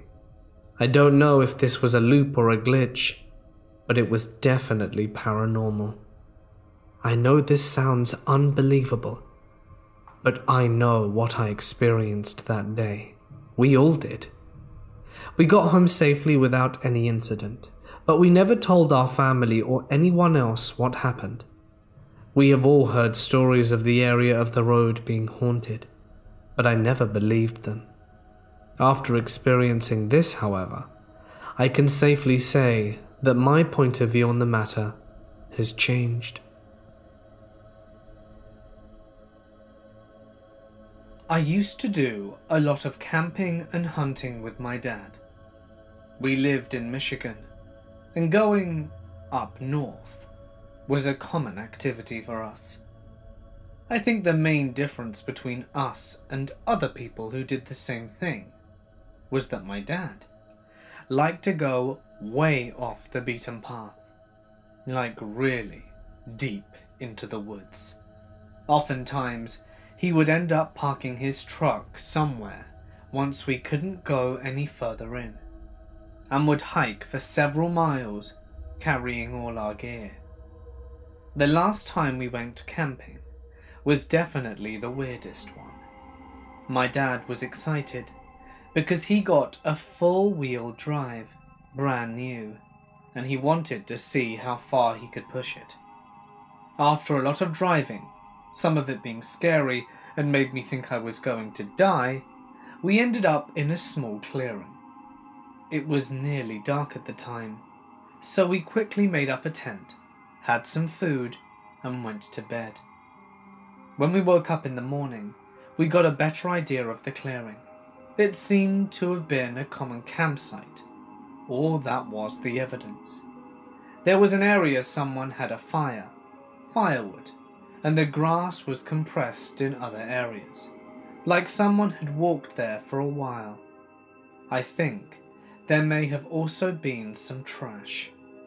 Further exploring around the area, I find what I called a swamp. It was a bed of water where trees and branches had fallen into or were growing out of. It had an eerie quality, but I was more afraid of snakes. After checking that out with my dad, we decided we were going to walk further into the forest, where the trees were thick and a truck couldn't get through. We were walking for maybe an hour when we came into another clearing. Before we even got there, we could hear something. As we approached, we found the source. We went immediately from a very dense forest into a very open area with low grass. Directly in front of us was a wooden cabin. In front of it were rusted out cars that seemed to be impossibly placed due to how dense the trees were. To the left of us was a cliff that just seemed to shoot straight down. Coming from the cabin was a lot of noise, and as we approached further, we could tell it was a woman screaming. What she was screaming, I wasn't sure. I couldn't make it out, but she was obviously mad about something. I remember wanting to check out the cliff more, but my dad stopped me suddenly and stared like he was trying to figure something out, and told me to turn back immediately. We were practically running back to the campsite, and when we got there, he immediately had us pack up everything and get back in the truck to leave. I'm not sure what he saw or heard, but it was sure enough to scare him, which I had never seen before. We were both armed as well, and my dad had earned various medals in the army for rifle use and sharp shooting. He was an amazing shot, and when he had his hunting rifle, his bravery seemed to be endless. I think that's what's creeped me out the most. Whatever it was, he knew he couldn't protect me or himself from it. I lived in south central Pennsylvania. The Pennsylvania State Game Commission continues to deny the existence of mountain lions in the state of Pennsylvania, despite many, many sightings over the years. I've seen two, both in the area near my parents' rural town. The first sighting occurred when I was a teenager it was just about dusk, and I planned on walking home from my grandmother's to my parents' house. I got about a halfway through the large field that I would cross to get to the path to my parents' house when I noticed something moving along the tree line. Initially, I thought it was one of the neighbor's dogs, but it wasn't moving like a dog. I stopped to watch as it dawned on me what I was really looking at. It was a dusky, dark, tan cat, bigger than any cat I had ever seen. I realized what it was, and slowly backed up across the field and back to my grandmother's, where I requested a ride home. The second was seen by multiple neighbors before we saw it out the window. This cat was much darker in colour, almost black, but similar in size, and certainly not a bobcat. We've also seen rather large tracks when hunting two separate mountains in the area. Unsure why the Game Commission persisted that they are extinct and a fragment of everyone's imagination. But mountain lions are definitely out there in the Appalachians still. When I was 10, I was at a lake way out in the woods on some land my dad owned. I was alone aside from my dog, an Airedale Terrier. I'd been fishing on the little pier in the southeastern corner for about 10 minutes when I noticed something or someone watching me from the tree line on the other side of the lake. I was only about 10 but I kept my composure. For some reason, I felt it important that whatever slash whomever it was did not know that I was aware. Anyway, it started moving slowly from tree to tree, never taking its eye off me. The lake was about 75 yards wide, so I couldn't see any details, but I could tell which way the figure was facing. I realized that it was stalking me and I nonchalantly put my pole down and walked down to the pier and up the bank towards the trail back to our cabin. Once I hit the tree line, I hauled ass to the cabin and waited there with one of my dad's guns until my parents got home. The only witness I had was my dog, and he saw it as well. I know because he was staring intently at the figure while giving a low growl until I quietly told him to stop. I have no idea who or what it could have been, but I now know its intentions were most definitely not good. In the early 90s, we didn't live there, as our home was in Mobile, Alabama, but we spent most weekends up there. I know it could have been a person, but the nearest neighbor was a very old couple that lived a few miles away. The closest paved road was a good 15 to 20 minute drive away from our land, aside from the lake and the open area our cabin was on. The surrounding area was all really thick forest. The figure was extremely tall as well. I have an extremely good memory, especially for details.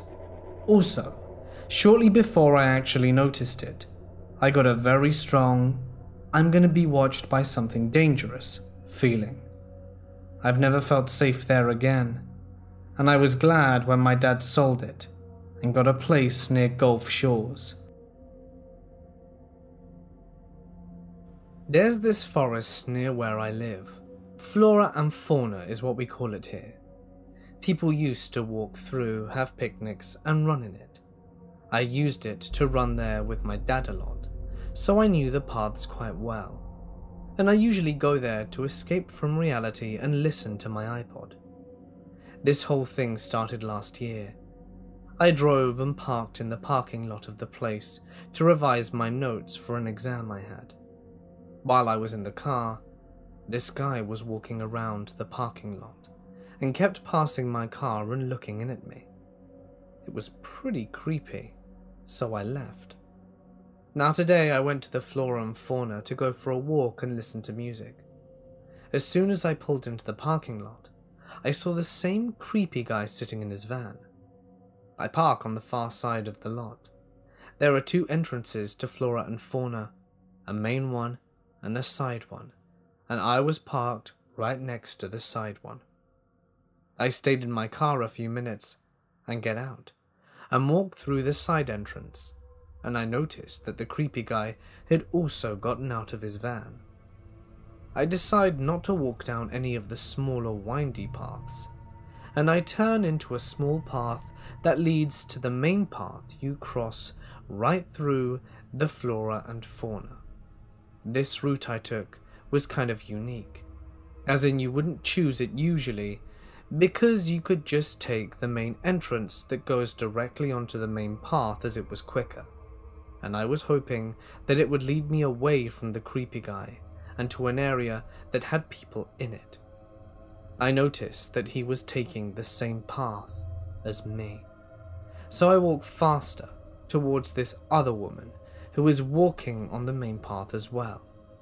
He follows me to the main path too, and I message my friend and let her know what's up, and then call her. I stay behind this woman for about 10 minutes, and the guy is about 5 to 10 meters behind me.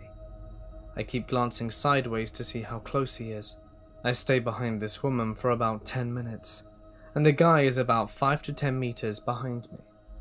I keep glancing sideways to see how close he is. I get in front of the woman, and I'm about 200 meters from the other side of the flora and fauna. And there's this couple with a pram walking towards us. I look back, and the creepy guy has turned around. I stay on the phone with my friend until I get back to my car. Then when I come back to the parking lot, the creepy guy is in his van, which has been moved and was a lot closer to my car. He watches me get in and drive away. So creepy guy, Please, let's never meet again. One of my experiences happened on family land that we own in North Carolina, where I used to live. I still hunt, so it's never kept me from going again. We call it the noise. To this day, if you ask people who live or lived adjacent to the land about it. They know exactly what you're talking about. Whatever it is was very loud and very fast. It was like a very loud primal scream. The first time I heard it, I was hunting with my dad and brother. We were stalk hunting and very, very slowly and methodically moving throughout the forest. I noticed everything had gotten oddly quiet. The only thing you heard was the water running over the rocks in the creek. My dad stopped us and said to hold still and not to move. As soon as we stopped, it screamed behind us. It was so loud it made my ears ring. My dad never showed fear and was always rational. He looked very nervous, and I'm ready to shit on myself. My brother has his gun shouldered, looking around trying to spot it, just to see what it is and make sure it isn't close. Then it screams again now. It seems closer and in front of us. My dad puts his hand on my shoulder and just says run for the car now. I jump up like a scared rabbit and run as fast as my legs will carry me. We're all running, and we can hear this thing screaming as we run, like it's keeping pace with us. I can see the gravel road ahead and know the car is close. It lets out another scream that sounds like it's on my left now and very close. I bolt right, and we all come sliding out onto the road about a hundred yards above the car. That's when I hear this weird whistle from the woods, and then everything just goes back to normal. Birds chirping away, squirrels calling, crows cawing, and we stopped to catch our breath and uneasily walked to the car ready for anything. A hundred yards never seemed so far away. That wasn't the last time we heard it. In fact, it happened many other times. My family tried to find it for many years to figure out what it was. We even trained hunting dogs, but they ran away from this. Weird stuff. But I still love to hunt, and figure that if something gets me while I'm hunting, at least I'm doing something I love and being close to nature. In my college days, about 20 years ago, me and a friend often took off for the North Georgia mountains on the weekend. When we wanted to smoke, drink, and commune with nature, these mountains were perfect. On the weekend, this unsettling event occurred to me. My friend Bill and his German Shepherd Monty headed out towards Sky Valley. It was the beginning of fall semester at UGA, and not much was going on yet. We had found an area where a dirt road led back a half mile, and then we would hike in another mile or so and set up camp near a creek. Excellent trails were nearby, with fun places to explore, not to mention flat ground perfect for setting up camp. Bill and I arrived at our spot around 4 pm and got a fire going. We were musicians, Bill, a guitar player, and me, a percussionist. So we sparked a joint and started jamming. Around 10, after jamming a while, we chatted about life and girls before tucking in for the night.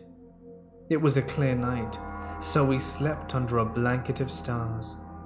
It is important to note we never had seen any sign of another person in the area during any of our other trips. But at two in the morning, I was awoken by Monty growling. It was a deep, guttural growl. Bill was still dead to the world, and I sat up looking around and listening, thinking maybe an animal had come near our campsite. The fire was only embers at this point. I heard barely audible voices in the distance, Focusing on the area of the voices, I saw a faint red glow, followed by another faint red glow to the left of the first. This was about a hundred yards away. My mind connected what I was seeing. Cigarette embers. They were getting closer. Bill, wake up! Bill roused from his sleep, and I explained what was going on. At this point, Monty started barking as the strangers approached camp. By the time we stood up, they were in camp, completely unfazed by the now rabid 70 pound German Shepherd. Two incredibly unkept, late 30s, early 40s, deliverance looking guys walked up on us. Bill told Monty to calm down. I will never forget the look of these guys, skinny as hell, about 5 foot 8 shirts caked in grime, mangy beards, and probably five teeth between the two men. Each had huge knives attached to their belt buckles. What you boys doing out here? Look like you're having a good time. We responded and told them that we had been out here to camp and drink some beer.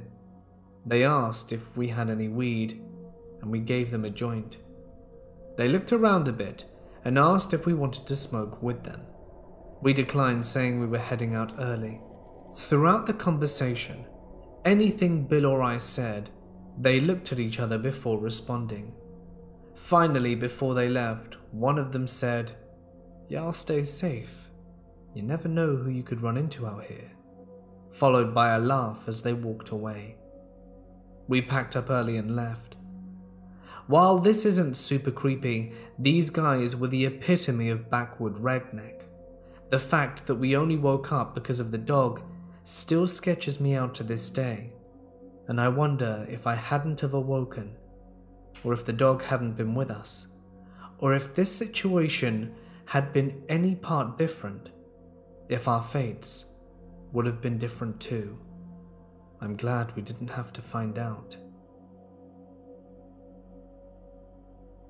On October 21st, 2017, I was visiting my grandparents in Oklahoma.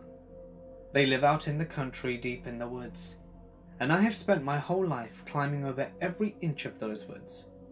I've memorized every trail that I have made while walking through them. I have a favorite spot in the woods. It's a small clearing with giant 5 to 12 feet boulders all around it. It's a place that is very special to me, but although I can't explain it, whenever I go there I have the weirdest feelings, like someone or something is watching me, or just a weird feeling in general. But I've always ignored the feeling until that day.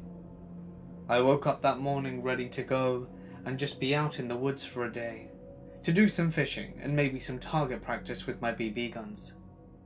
I took my phone so that I could film my favorite spot so that I could show my friends.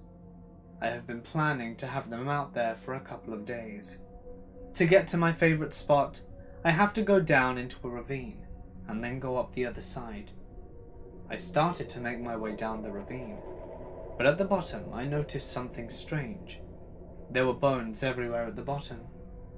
Deer heads, deer legs, possum skulls, and a ton of bones in general.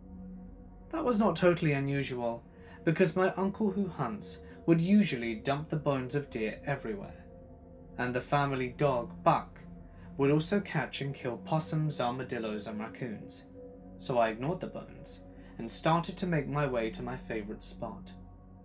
After about 10 minutes of walking, I finally got up there and set down my stuff, and pulled out my phone to record the area I was at. I started recording, and talking to the phone, gesturing to my favourite areas and whatever. I then started to walk just a little ways to show more of the place. I was walking when I noticed a little stone structure in another clearing. I had been out there the day before, and the structure had not been there. So I walked over and found myself in the centre of a circle ring of rocks. I started to rotate when all of a sudden the woods stopped. I don't mean just birds, but the crunch of my boot on the ground, the wind, and even my own breathing. Everything just stopped. But then I heard the weirdest thing. It was like my name was being whispered over and over again. And as I look around, to see where the sound was coming from. I focused on one tree. There, peeking out from behind it, was a tall, slim creature. It was completely black. Long arms, a long neck. But when I say it was black, it was all black. No other colours, like shadow black. And from what I could tell, it had no facial features and at least reached seven feet tall. But the weirdest part? It had no legs. It was a floating black torso with long arms and a long neck and no face. My usual fight or flight response is usually fight, but in this situation, something in my head told me that I would not be able to fight this.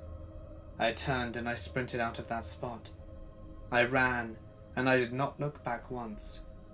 When I got to my grandparents' house, I immediately locked the doors and windows, or at least as many as I could and tried to send the video I recorded to my friends. But as I did so, my phone screen went blood red, then glitched and shut off. I tried two or three more times, but the same thing happened. My grandma had walked in and asked me what I was doing and why I looked so worried. I just played it off and said that I couldn't get a message to send, which was not entirely untrue. I was not able to sleep that night and I swear I could hear the faintest whisper of my name all night. I've never shown my family the video or told them about the incident. I've only shown that video to some best friends, and only two of them believed me. I've told the others about it, but no one really thinks it's true. I've been back out to my grandparents since then, but have not gone back near that particular spot without another person. I have had a few paranormal experiences in my life, but this one stands out in my mind. I am a 22 year old male, currently in my last semester of college. This story takes place during my freshman year at the same college. I go to a smaller university in Connecticut. It's located pretty much at the base of a popular state park with a large mountain. If you're familiar with Connecticut, I'm sure you can guess which university I'm referring to. There is a lot of Native American folklore associated with the mountains, as Native American tribes used to live in the surrounding area, and some weird stuff has definitely happened there. A kid even fell to his death while hiking not too long ago, but I highly doubt that was due to anything paranormal. Behind my freshman dorm building, there was a steep hill that led into the woods. This was where everyone in our building would go to smoke weed.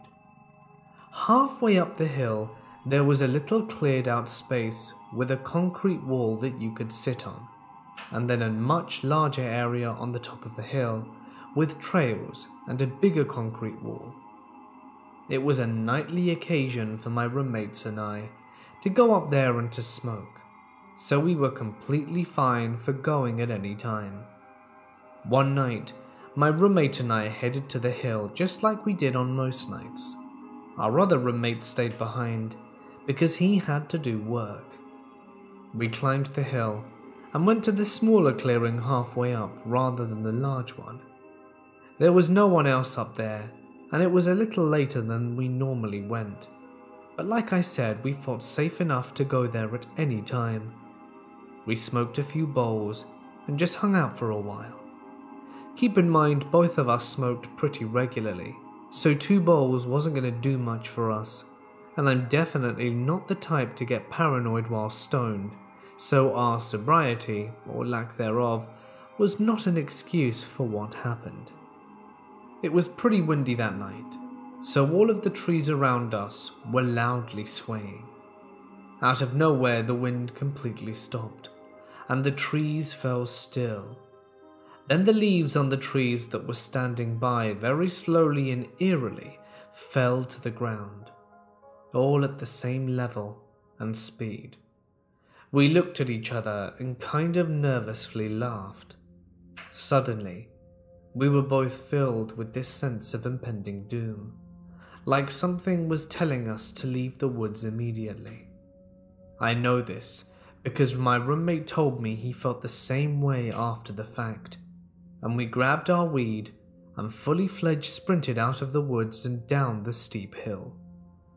As I was running down the hill, I fell backwards really hard and messed up my elbow. To be honest, it almost felt like I was yanked by something. But there's a definite possibility that I just slipped on the dirt because we were flying down this essentially vertical hill. I picked myself up and we ran into our dorm building, slamming the door behind us. After that, my roommate refused to go into those woods for the rest of the year. There were a few times where I went back up the hill and into those woods by myself, as I didn't feel like walking across campus to go to another spot. For the most part, it was fine. I didn't experience anything but there were a few other times I would be up there around midnight and would suddenly be filled with the same impending doom feeling to tell me to leave. I haven't gone back to that area since, but I can still see the eerie way those leaves fell around us. Three years ago, I was hunting in Nemadji State Forest in Minnesota. If you know anything about this area, there are wetlands everywhere. Swamps and sinkholes litter the land. It's like nothing I've ever seen. This land is tough and mean, and if you go in unplanned and do not mark your way, there's a good chance no one will ever see you again, as it was a foggy morning and the second week of deer opener, and I was trailing along. I had my rifle across my chest, with both hands on the scope, and just trying to find an area where I could see more than ten feet in front of me. The further in, I realized I was lost, and then the oh shit set in as I walked a little further ahead, trying to get my bearing. And before I knew it, I stepped forward and sunk. I was up to my forehead in mud, and sinking, with my only anchor being my rifle butt and barrel, and just so happened to be wider than the sinkhole I managed to get myself in. My only hope was to pull myself out, and I tried for four and a half hours screaming my lungs off for help, and trying in vain to pull myself out.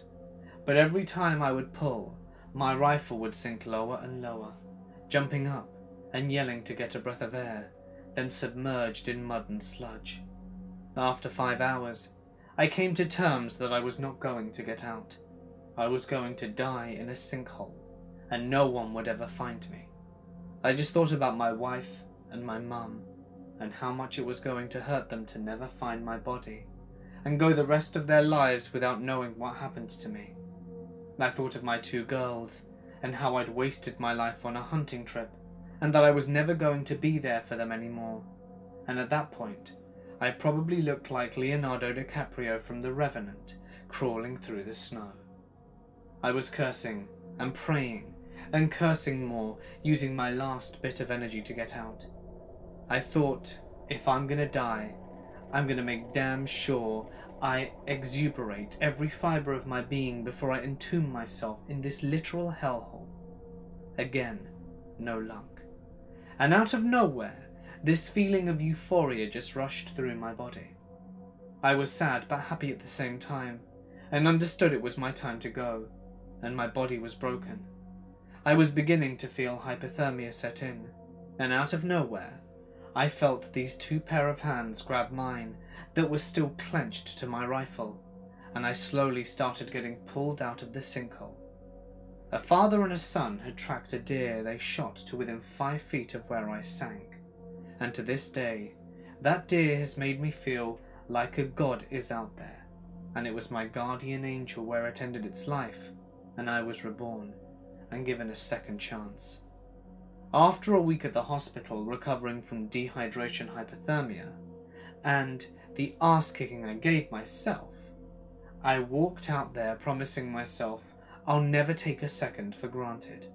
It's made me a better father to my children and a better man. I truly believe that. I still wake up at night, screaming with rage I had, trying to pull myself up, sinking deeper and deeper covered in sweat, with my heart pounding. And when I do, I go check on my now three girls, and just think how lucky I am to still be alive. And lastly, I have given up hunting, or even going into the deep woods. Maybe one day I will try my luck, but every time I think about it, I just start shaking. Even writing this has me in tears. On a side note, a man from the Twin Cities this last hunting season disappeared in the very same area I was hunting. Look it up if you don't believe me. Every time I would see his face on the news or in the paper, I can just imagine him in my head, struggling to get out. But unfortunately for him and his family, he has not been found. The only reason I am still here today was my rifle and how I held it across my chest. My husband and I are amateur mushroom hunters.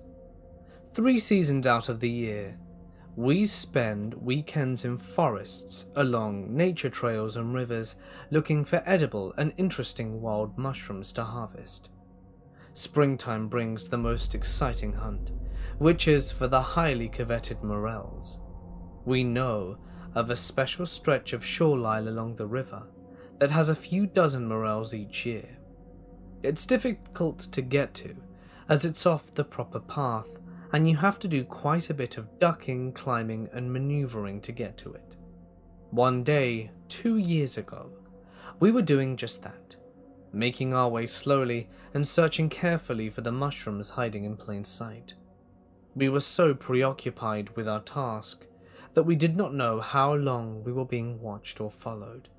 But at one point, we saw a man up ahead of us, looking at us and not saying anything or moving, almost like he was waiting to be noticed.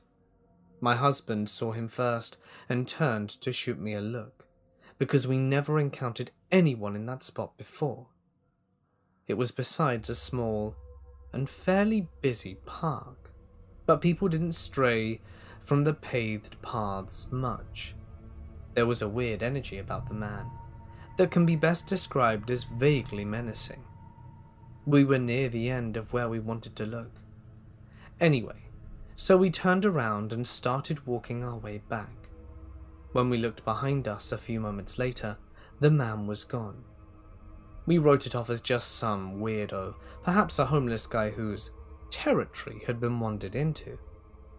We continued looking over the spots we had already covered in case we'd missed any more else, with me in front and my husband right behind me. Looking back every few places, as we were feeling more paranoid as we went along. All of a sudden, I look up from the ground at my feet and the man is blocking our path about 30 feet ahead. He had to have taken the riverbank and crept up alongside us on the path in order to get ahead of us, so that he could cut us off the way he had. I whipped around with huge eyes at my husband, who looks over my shoulder, sees him, and starts to move up the hill on our right as the riverbed was to our left, grabbing my hand to pull me with him. Adrenaline shot us out of the thick brush and onto the paved path in the open park. Without speaking, we broke into a sprint towards the direction of our car several blocks away. When we were far enough away from the riverbank to risk a backwards glance, we saw the man emerge from the brush. He just stood there watching us leave, motionless. We speculated the entire ride home what he wanted from us, knowing it was nothing innocent.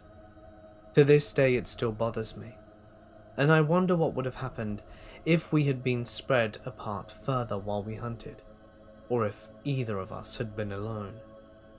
I don't think I want to find out. I had recently begun helping my mum sell my childhood home, and it sparked the memory of possibly the scariest thing that's happened to me. Me and my friends were 15. I grew up in a subdivision about 20 minutes away from any towns. It was a very safe neighborhood, streetlights on the corners, lots of kids, lots of classmates lived there, and there was never any fear of us walking to each other's houses or staying out after dark. My subdivision was about three miles long, and I lived at the very end of it. The last mile is a sharp right turn into a hill and has thick woods along both sides of the street, with four houses at the bottom, all surrounded by woods. My friend Maddie lived at the entrance to the subdivision. One year, we got about 8 inches of snow and ice. It shut down the roads and people were stranded. Schools closed for a week. The first day of this snow, me, Maddie, and Kelly spent the whole day playing. We decided to have a big sleepover at Maddie's house that night.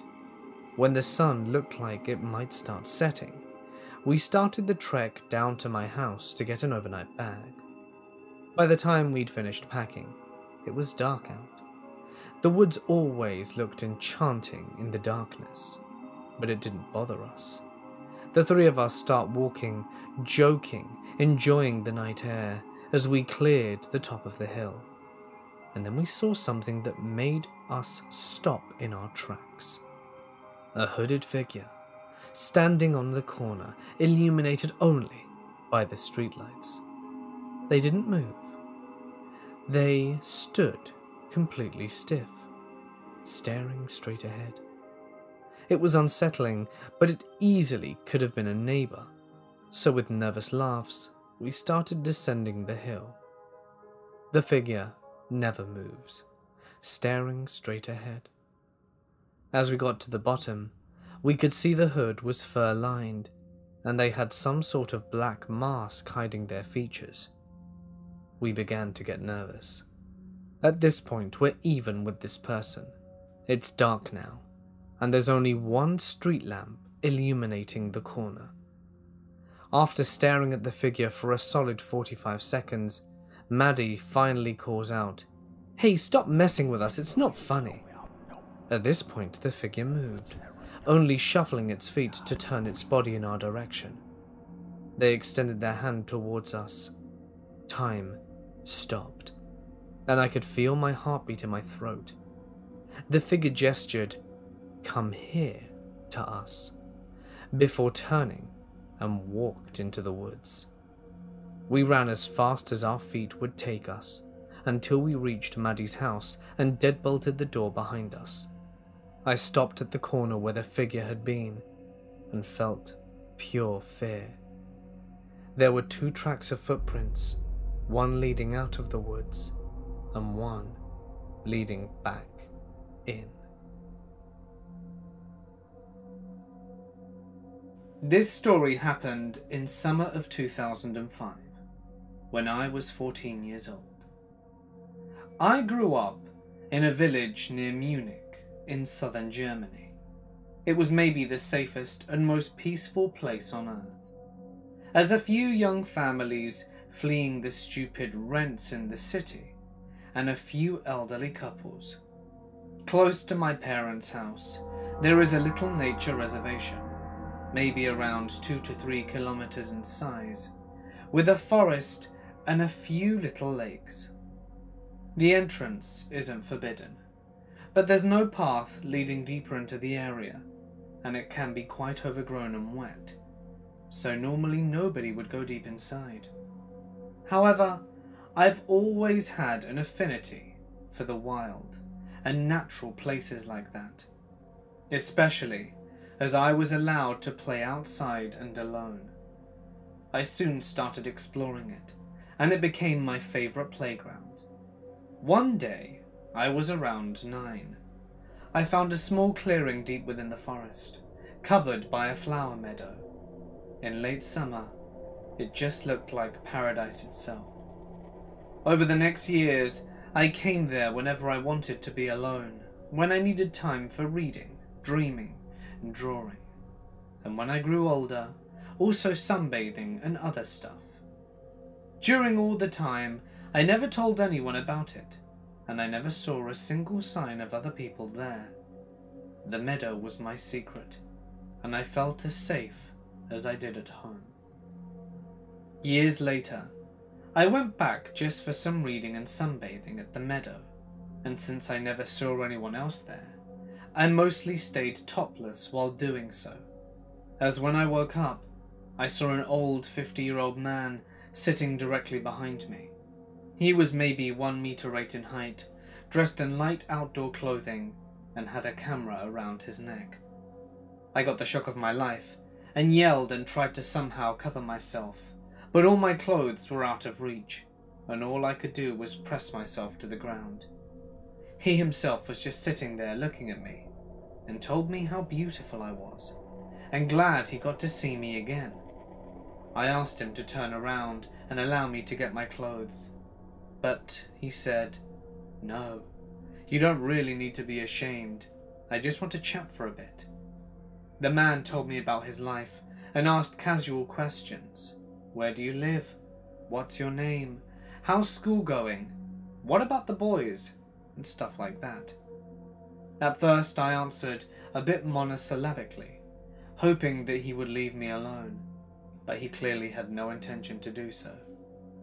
After a few minutes, he even asked if I would allow him to shoot some more pictures, because I looked like a nymph, and he would like to preserve me forever. Of course I refused, and now something changed in his behavior. His whole appearance became harder, and he said with a creepy and cold voice, and I'll never forget this sentence, You are really stupid for a naked little girl all alone in the forest. At this point, I became scared as hell, jumped up, and ran into the forest, leaving all my stuff behind. He didn't try to follow me, but was just sitting there and laughed. I came back after lurking for about two hours to get my stuff. He was gone, and left most things behind, except for my shirt and bikini top. I grabbed all my stuff, tried to cover myself with my skirt, and ran home as fast as I could. I never told my parents, but after that, I never visited the meadow again.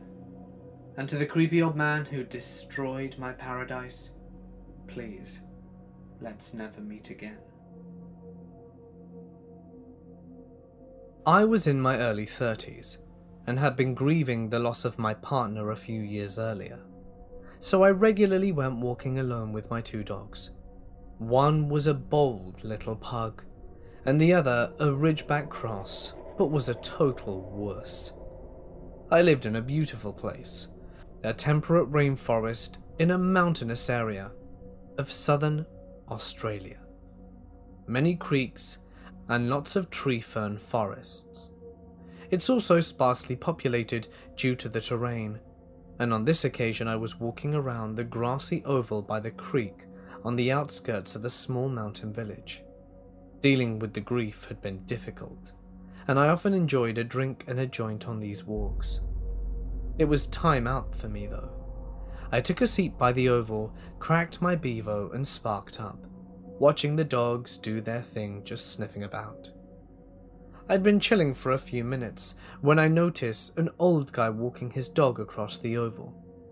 I can see he's smoking and has a beer in his hand. My kind of person. As he gets closer, our dogs meet and play, and we soon get to chatting. I recognize his accent. He's from Liverpool, England. He's about 60 and lives with his elderly mother in this town. We're just chatting away for a good half hour, having a nice time on this cool autumn day. He's an interesting guy, so we plan to maybe catch up for a coffee next time I'm in the area. He doesn't have a mobile, so he writes down his home phone number for me on a scrap of paper. Cool, new friend. So conversation turns to when and how he came to Australia. Eleven years ago he arrives, he tells me. I ask what prompted the move. Suddenly, it gets weird.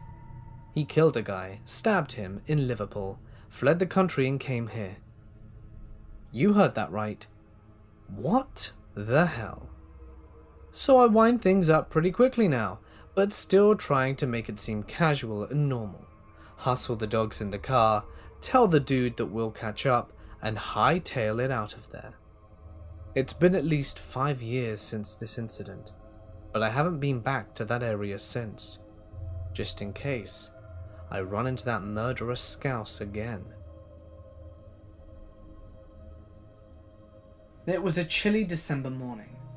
I hiked down pre-dawn, taking about an hour and a half to go three miles off the beaten trails. I got to my nests about a half hour before sunrise and started to settle in. The wind kicked up and a fog rolled in that was thicker than milk. Within a few minutes, my visibility was five feet. I'm sitting tight, huddled up against the freezing wind, when I start to hear twigs snapping close to me. For no apparent reason, what is normally a rapturous sound, indicative of an imminently successful hunt, sent a frosty chill down my spine.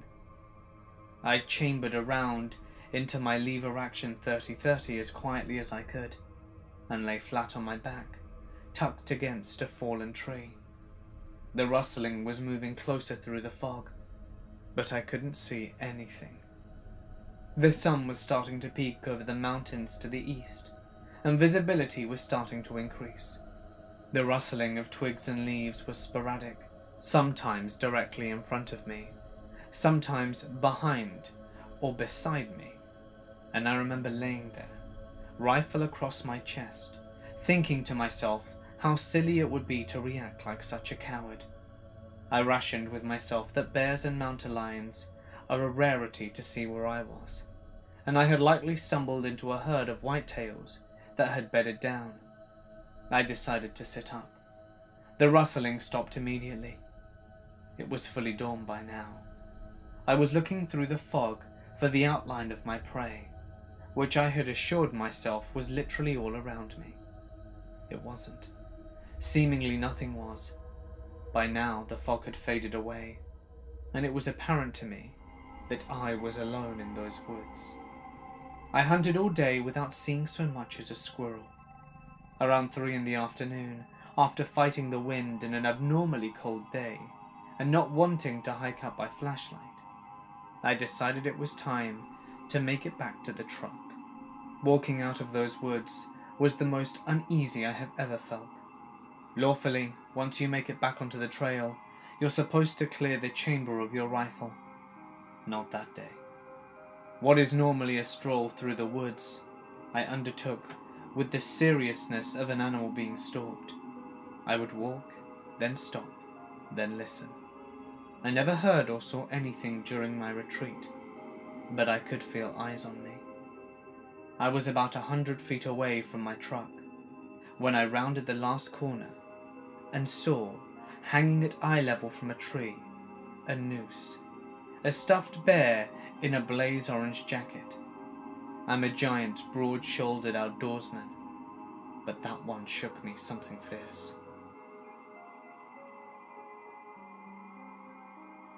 This is something that happened to me and a friend as kids, and is more of a disturbing discovery than a disturbing person. We were probably between 11 to 14 at the time, and it was in the middle of summer. It was also something I didn't really come to understand until much later in life, when there was no way to resolve what he and I had seen. My house was in a valley. There were a few houses along the streets with it, but the hills on either side were undeveloped forest back then. Me and my friend would hike up the hill behind my house, through a few miles of woods, and out to the other side where there was a neighborhood that had a farm stand style shop with local honey and a bunch of cheap candy. We also just hung out in the woods a lot and would tell each other scary stories as we headed back home. None of them were all that scary looking back on it. The ones I can remember anyway. But younger me was always a little spooked on the walk back to the house. One dusk when we were heading back for the day, I spotted a bit of white in a mound of moss. As a kid I was always looking for interesting stuff to collect and take home, so I was immediately ready to go and dig out the moss. When I did, I found a pelvis bone. It had probably been there a long time, and I remember it was pockmarked and dirty, worn away slightly from time. I was pretty scared for a second, but I remembered that all sorts of animals have pelvis bones, and this one must be from a deer or something. In my childish need to know it all, and jumping at my first non-frightening possibility, I told my friend it was a deer pelvis. We marvelled at it, but put it back because I knew my dad would be mad if I brought back old deer bone. I forgot about it for a long time. Many, many years went by, but eventually I learnt more about the shape of human bones opposed to animals. I remember the shape I found quite clearly. It was almost certainly a human bone, and the size wouldn't have been an adult. I wonder what else was in the mound, who it might have been and if my finding could have given someone some closure.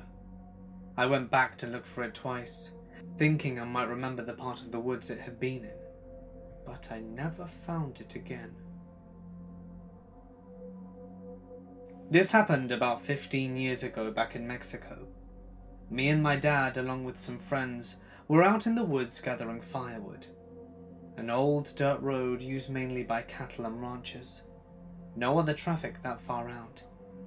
Ten minutes later, this nice new truck with tinted windows coming from the opposite direction stops about 25 feet in front of my dad's truck. We could hear somebody crying in the trunk. Most likely a woman, but I'm unsure. But me being 10 didn't think much about it and continued to grab fallen branches. The truck just stopped, but no one left the vehicle. My dad told us that was enough for the day, and it was getting dark. All the older guys in the group seemed to know something was up and jumped in the truck in a hurry. I even got my finger smashed on the door because of it. But again, I didn't think much of it aside from my finger getting bloodied. I remember my dad driving fast. They talked and murmured, but it was grown ups talk to me, and all I could think about was the finger and the pain. When I got back to the town, my dad pounded a few beers and they talked. Several years later, when I was in my early 20s, that memory came back, and I connected the dots to what we'd witnessed. I'd never felt so much fear in my life before. To this day, the scariest thing that ever happened to me is that. I don't have the guts to bring it up to my dad, but I'm pretty sure it was some sort of cartel related deal. But for some reason they decided we didn't see anything. Also, this is because back in the day and in my area, you never really heard of crime like that. The only crime was cartel on cartel, super secretive crime. So I'm sure that whoever was inside probably had something to do with them. If it was cartel related at all, that is. There's a good chance it could have been something else entirely. But I can only imagine what my dad felt, having me and his friends with him there, and seeing something that we were not supposed to see. It could have gone terribly wrong for all of us. I'm not a hunter, but when I was around 14 or 15, I went with my cousins and brother to go check out some land my cousin's family friend bought to fish on. The land was a good few acres and located right next to their very large suburban neighborhood in Georgia. All you need to do was pull onto a curb in the neighborhood and take a small dirt path across a lake. And after a small turn, the path ran about a mile in a straight line down the middle of the property to a larger lake. When we went, we took a golf cart since nobody wanted to walk and pulled onto the property. After taking the small turn on the left onto the main path, we all just froze. Walking towards us at the opposite end of the path, there was a man with a jacket and a ski mask on. We all saw him. He wasn't holding anything. He wasn't running, and he wasn't speaking. We stopped the golf cart, but we couldn't turn around on the path since it was so thin, and there was foliage to both sides of us. The person was still at least a half a mile down the path, just walking, but we were still terrified. Also, it didn't help that the oldest in our group was 16 and the driver was 12. Despite being young, however, my cousin put the golf cart in reverse, which makes the loudest high-pitched whine ever, and reversed the entire quarter mile pedal to the metal, which is pathetically slow in an electric golf cart. When we told his parents, all of the adults came out with us to look over, as well as set up two plot watchers. They had to see if they spotted anything. There was nothing on the cameras, and they still have never seen anyone in those woods since then, despite hunting there all the time. Me and my friends were going through this trail at night, in a very dense forest. Everyone went quiet for literally no reason. I asked what was wrong, and everyone said they just felt strange, like something bad was about to happen. It sure did, because I stopped in the middle of the road, just at the very edge of the darkness where my lights were. A very weird figure began to run from one side to the other. It was not human. I will say that, just because it didn't look like someone running. It was a shadowy figure, and it ran across in a very fluid motion. I don't know if my eyes were playing tricks on me, but I asked my friends and they said they all saw it. Now here's the most stupid thing I ever did as a skeptic of the paranormal. I got out my car, immediately, complete silence. No birds, nothing. It's pitch black. I hear a crumple of leaves in the distance, so I got my phone's flashlight out and pointed in that direction. What I saw next, I have nightmares about, and I rarely talk about it. It was absolutely just something that shouldn't have happened. I saw an arm around a tree in the distance. It wasn't human. At all. Then it disappeared. I said nothing and couldn't feel anything. I casually walked back to the car and didn't say a word to my friends. I put my foot down as fast as possible, got on a main road and connected up with the motorway. My friends asked me what happened multiple times. I pulled into a service station, turned back and just said, I saw an arm wrapped around a tree that wasn't human. We hardly talk about it, and it is the creepiest thing ever.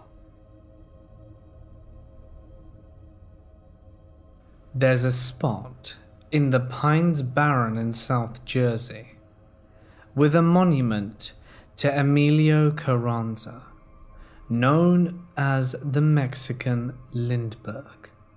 He was an exceptional pilot and lost his life when he encountered an electrical storm and his plane crashed into the barrens.